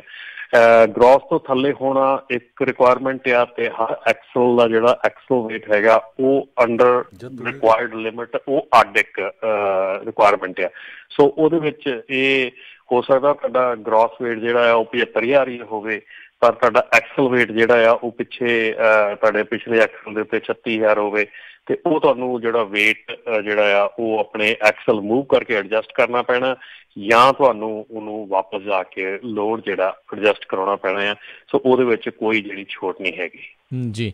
ਤੇ ਹਰਜੋਤ ਜੀ, ਰਮਨ ਜੀ, ਆਪਾਂ ਜੇ ਕੁਝ ਫੇਸਬੁੱਕ ਦੇ ਉੱਤੇ ਕਮੈਂਟਸ ਪੜ੍ਹੀਏ ਤਾਂ ਕਈ ਇਹਦੀ ਕਹਿੰਦੇ ਵੀ ਜਦੋਂ ਤੁਸੀਂ ਫੂਡ ਖਾਂਦੇ ਆ ਨਾ, ਬਹੁਤ ਧਿਆਨ ਵੀ ਰੱਖਣ ਦੀ ਜ਼ਰੂਰਤ ਆ, ਖਾਸ ਕਰਕੇ ਜਿਹੜੇ ਡਰਾਈਵਰਸ ਵੀ ਯੂ ਨੈਵਰ ਨੋ ਕਿਹਦੇ ਵਿੱਚ ਕੋਈ ਕੈਨਬਸ ਆਇਲ ਜਾਂ ਕੋਈ ਕੈਨਬਸ ਸੀਡਸ ਜਾਂ ਮੈਰੀਵਾਨਾ ਦਾ ਕੋਈ ਤੱਥ ਜਿਹੜਾ ਆ ਉਹ ਤੁਹਾਡੇ ਫੂਡ ਦੇ ਵਿੱਚ ਤੁਸੀਂ ਅਣਜਾਣੇ ਅਣਜਾਣੇ ਦੇ ਵਿੱਚ ਕਿਤੇ ਜਿਹੜਾ ਉਹ ਨਾ ਖਾਦਾ ਜਾਵੇ, ਬਾਅਦ ਦੇ ਵਿੱਚ ਜਦੋਂ ਤੁਸੀਂ ਡਰਗ ਟੈਸਟ ਕਰੋਗੇ, ਤਾਂ ਇਦਾਂ ਤੁਹਾਡੇ ਸੈਂਪਲ ਦੇ ਵਿੱਚ ਆ ਸਕਦਾ ਆ। ਸੋ ਵੀ ਧਿਆਨ ਰੱਖਣ ਦੀ ਜ਼ਰੂਰਤ ਆ।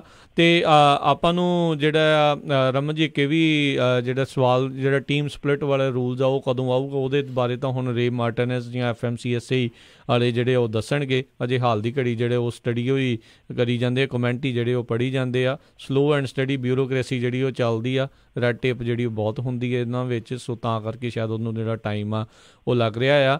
ਤੇ ਅਗਲੀ ਜਿਹੜੀ ਇਹ ਮੰਗ ਵੀ ਆ ਰਹੀ ਹੈ ਰਮਨ ਜੀ ਵੀ ਆਪਾਂ ਨੂੰ ਰਮਨ ਜੀ ਆਪਾਂ ਨੂੰ ਇਹ ਵੀ ਜਿਹੜੀ ਮੰਗ ਆ ਰਹੀ ਹੈ ਵੀ ਜਿਹੜੇ ਲਾਈਫ ਇੰਸ਼ੋਰੈਂਸ ਜਿਹੜੇ ਟਰੱਕਰਸ ਦੇ ਲਈ ਕਿੰਨੀ ਇੰਪੋਰਟੈਂਟ ਆ ਕਿਉਂ ਇੰਨੀ ਜ਼ਿਆਦਾ ਜ਼ਰੂਰੀ ਆ? ਉਸ ਦੇ ਉਹ ਟੌਪਿਕ ਵੀ ਜਿਹੜਾ ਜ਼ਰੂਰ ਲੈ ਕੇ ਆਇਓ। ਸੋ ਆਪਾਂ ਨੈਕਸਟ ਟਾਈਮ ਉਸ ਟੌਪਿਕ ਨੂੰ ਜਿਹੜਾ ਜ਼ਰੂਰ ਕਵਰ ਕਰਨ ਦੀ ਜਿਹੜੀ ਉਹ ਕੋਸ਼ਿਸ਼ ਕਰਾਂਗੇ।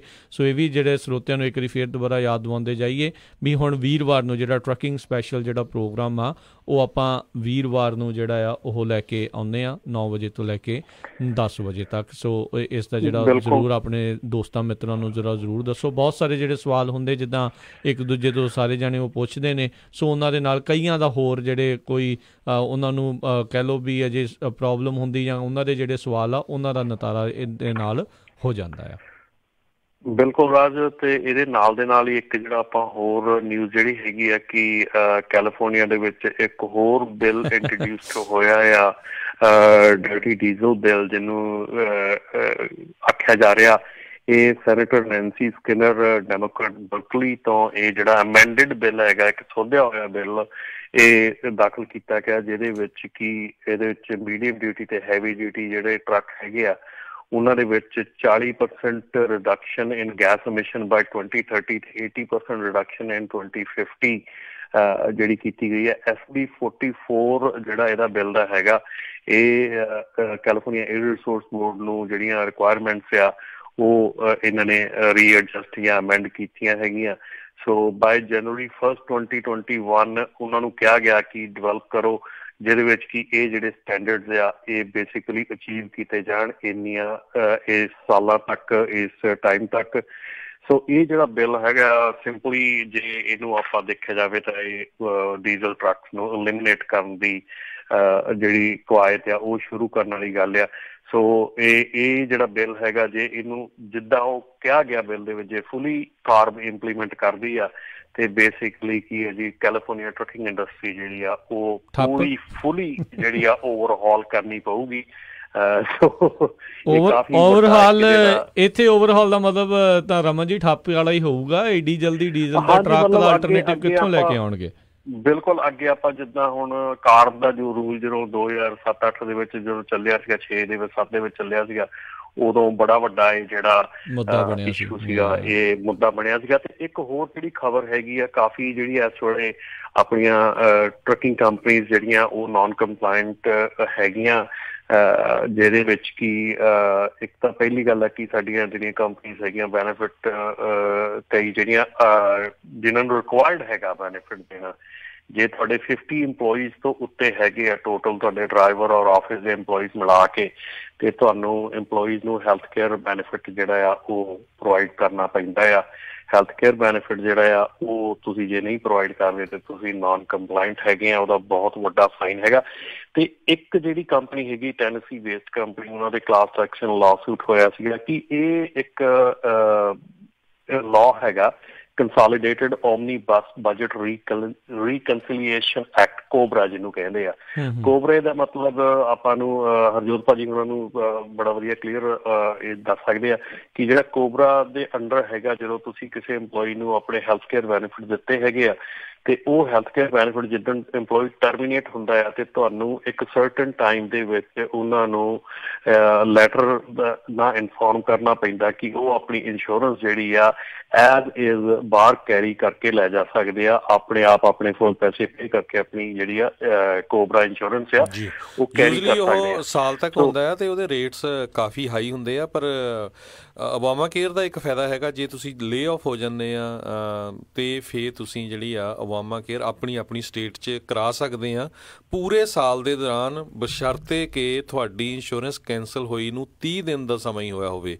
ਸੋ 30 ਦਿਨ ਦੇ ਵਿੱਚ ਵਿੱਚ ਈਵਨ ਦੋ ਹੁਣ ਸਾਰੀਆਂ ਸਟੇਟਾਂ 'ਚ ਇਸ ਵੇਲੇ ਓਬਾਮਾ ਕੇਅਰ ਬੰਦ ਹੈਗੀ ਤੁਸੀਂ ਕਰਵਾ ਨਹੀਂ ਸਕਦੇ ਪਰ ਜੇ ਤੁਹਾਡੀ ਅੱਜ ਕੋਈ ਲੇ ਆਫ ਹੋ ਜਾਂਦਾ ਆ ਤੇ ਉਹ 30 ਦਿਨਾਂ ਦੇ ਵਿੱਚ ਜਿਹੜਾ ਇੰਸ਼ੋਰੈਂਸ ਕਰਾ ਸਕਦਾ ਹੈਗਾ ਬੇਸਿਕਲੀ ਲਾਈਫ ਚੇਂਜਿੰਗ ਇਵੈਂਟ ਕੋਈ ਇਦਾਂ ਦਾ ਜਿਹੜਾ ਉਹ ਹੁੰਦਾ ਆ। ਤੇ ਇੱਕ ਹਰਜੋਤ ਜੀ ਸਵਾਲ ਆਫ ਦੀ ਈਅਰ ਸਾਨੂੰ ਪੁੱਛਿਆ ਗਿਆ ਸੀਗਾ ਵੀ ਕੀ ਤੁਹਾਡੀ ਜਿਹੜੀ ਕੋਈ ਹੋਰ ਇੰਸ਼ੋਰੈਂਸ ਆ ਜਿੱਦਾਂ ਆਪਾਂ ਲਾਈਫ ਇੰਸ਼ੋਰੈਂਸ ਦੇ ਬਾਰੇ ਥੋੜੀ ਅਗਲੀ ਵਾਰੀ ਆਪਾਂ ਜ਼ਿਆਦਾ ਖੁੱਲ ਕੇ ਗੱਲ ਕਰਾਂਗੇ ਵੀ ਉਹ ਕੋਈ ਕਵਰ ਕਰਦੀ ਹੈ ਇਦਾਂ ਜਾਂ ਲਾਈਫ ਇੰਸ਼ੋਰੈਂਸ ਵੱਖਰੇ ਤੌਰ ਤੇ ਕਰਾਉਣੀ ਪੈਂਦੀ ਆ? ਸੋ ਬਿਲਕੁਲ ਰਾਜ ਤੇ ਰਮਨ ਜੀ ਸਨੀ ਗਰੇਵਾਲ ਹੁਣੀ ਵੀ ਇਹ ਕੁਐਸਚਨ ਕੀਤਾ ਸੀ ਵੀ 70% ਜਿਹੜੇ ਡਰਾਈਵਰ ਆਪਣੇ ਉਹ ਇੰਸ਼ੋਰੈਂਸ ਹੈ ਨਹੀਂ ਉਹਨਾਂ ਕੋਲ ਲਾਈਫ ਇੰਸ਼ੋਰੈਂਸ ਇਹ ਬੜਾ ਅਨਫੋਰਚੂਨੇਟ ਪਾਰਟ ਹੈ ਇਹ ਅਮਰੀਕਾ ਦੇ ਵਿੱਚ ਜ਼ਿਆਦਾ ਜ਼ਿਆਦਾ ਪ੍ਰੋਬਲਮ ਆ। ਜੇ ਤੁਸੀਂ ਕੈਨੇਡਾ 'ਚ ਆਪਣੇ ਕਿਸੇ ਰਿਸ਼ਤੇਦਾਰ, ਦੋਸਤ ਮਿੱਤਰ ਨੂੰ ਪੁੱਛੋ 90% ਪੰਜਾਬੀ ਉੱਥੇ ਉਹਨਾਂ ਕੋਲ ਲਾਈਫ ਇੰਸ਼ੋਰੈਂਸ ਹੈਗੀ ਆ। ਜੇ ਤੁਸੀਂ W2 ਤੇ ਕੰਮ ਕਰਦੇ ਆ, ਆਪਣੀ ਟਰੱਕਿੰਗ ਕੰਪਨੀ ਦੇ ਨਾਲ ਤੇ ਮੋਸਟ ਪ੍ਰੋਬਬਲੀ ਉਹਨਾਂ ਦੇ ਕੋਲ ਵਰਕਰਸ ਕੰਪ ਇੰਸ਼ੋਰੈਂਸ ਹੈਗੀ ਆ। ਪਰ ਜੇ ਤੁਸੀਂ ਐਜ਼ ਅ ਕੰਟਰੈਕਟਰ 1099 ਤੇ ਕਰਦੇ ਆ ਤੇ ਉਹਨਾਂ ਕੋਲ ਵਰਕਰਸ ਕੰਪ ਹੈ ਨਹੀਂ ਰੱਬ ਨਾ ਕਰੇ ਤੁਹਾਡਾ ਐਕਸੀਡੈਂਟ ਹੋ ਜਾਂਦਾ ਕਿਸੇ ਡਰਾਈਵਰ ਦੀ ਡੈਥ ਹੋ ਜਾਂਦੀ ਆ ਉਹ ਜਿਹੜੀ ਟਰੱਕਿੰਗ ਕੰਪਨੀ ਆ ਉਹ ਤੁਹਾਨੂੰ ਕੁਝ ਵੀ ਨਹੀਂ ਕਵਰ ਕਰਦੀ। ਉਹਨਾਂ ਦੀ ਜਿਹੜੀ ਆਟੋ ਲਾਇਬਿਲਟੀ ਕੁਝ ਨਹੀਂ ਕਵਰ ਕਰਦੀ ਹੈਗੀ। ਸੋ ਤੁਹਾਨੂੰ ਲਾਈਫ ਇੰਸ਼ੋਰੈਂਸ ਲੈਣੀ ਬਹੁਤ ਜ਼ਰੂਰੀ ਹੈਗੀ ਆ। ਜਿਹੜੀ life insurance totally different topic ਆ। ਆਟੋ ਲਾਇਬਿਲਟੀ ਜਿਹੜੀ ਫਿਜ਼ੀਕਲ ਡੈਮੇਜ ਉਹ ਡਿਫਰੈਂਟ ਆ। ਡਿਸੇਬਿਲਟੀ ਇੰਸ਼ੋਰੈਂਸ ਜੇ ਕਿਸੇ ਦੇ ਸੱਟ ਲੱਗ ਜਾਏ, ਉਹ ਟੋਟਲੀ ਡਿਫਰੈਂਟ ਹੈਗਾ ਸੋ ਬਿਲਕੁਲ ਸੋ ਲਾਈਫ ਇੰਸ਼ੋਰੈਂਸ ਦੇ ਬਾਰੇ ਜੇ ਤੁਸੀਂ ਕੋਈ ਵੀ ਜਾਣਕਾਰੀ ਲੈਣੀ ਹੈ, ਤੁਸੀਂ ਖਾਲਸਾ ਇੰਸ਼ੋਰੈਂਸ ਏਜੰਸੀ ਨੂੰ ਕਾਲ ਕਰ ਸਕਦੇ ਹੋ। ਸਾਰੀਆਂ ਸਟੇਟਸ ਦੇ ਵਿੱਚ ਇਹ ਲਾਈਫ ਇੰਸ਼ੋਰੈਂਸ ਕਰਦੇ ਨੇ। 408 272 2500 ਦੇ ਉੱਤੇ ਤੁਸੀਂ ਇਹਨਾਂ ਨੂੰ ਕਾਲ ਕਰ ਸਕਦੇ ਆ ਇਹ ਬੜੀ ਇੱਕ ਅਹਿਮ ਚੀਜ਼ ਆ ਤੇ ਆਪਾਂ ਅਗਲੀ ਵਾਰੀ ਇਸ ਦੇ ਉੱਤੇ ਜਿਹੜੀ ਹੋਰ ਖੁੱਲ ਕੇ ਜਿਹੜਾ ਵਿਚਾਰ ਅਗਲੇ ਵੀਰਵਾਰ ਨੂੰ ਆਪਾਂ ਉਸ ਦੇ ਉੱਤੇ ਕਰਾਂਗੇ।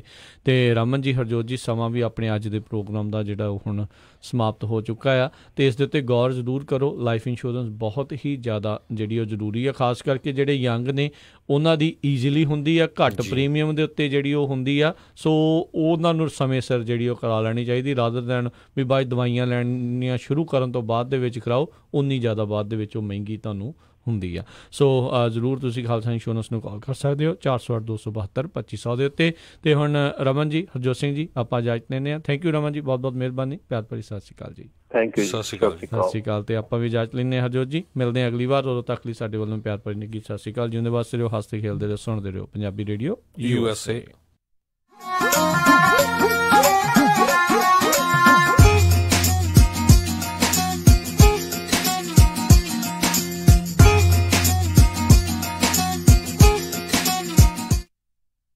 ਤੁਸੀਂ ਸੁਣ ਰਹੇ ਹੋ Punjabi radio U S A KOBO Yuba City 1450 AM KIID Sacramento 1470 AM KWRU Fresno 1300 AM KLHC Bakersfield 1350 AM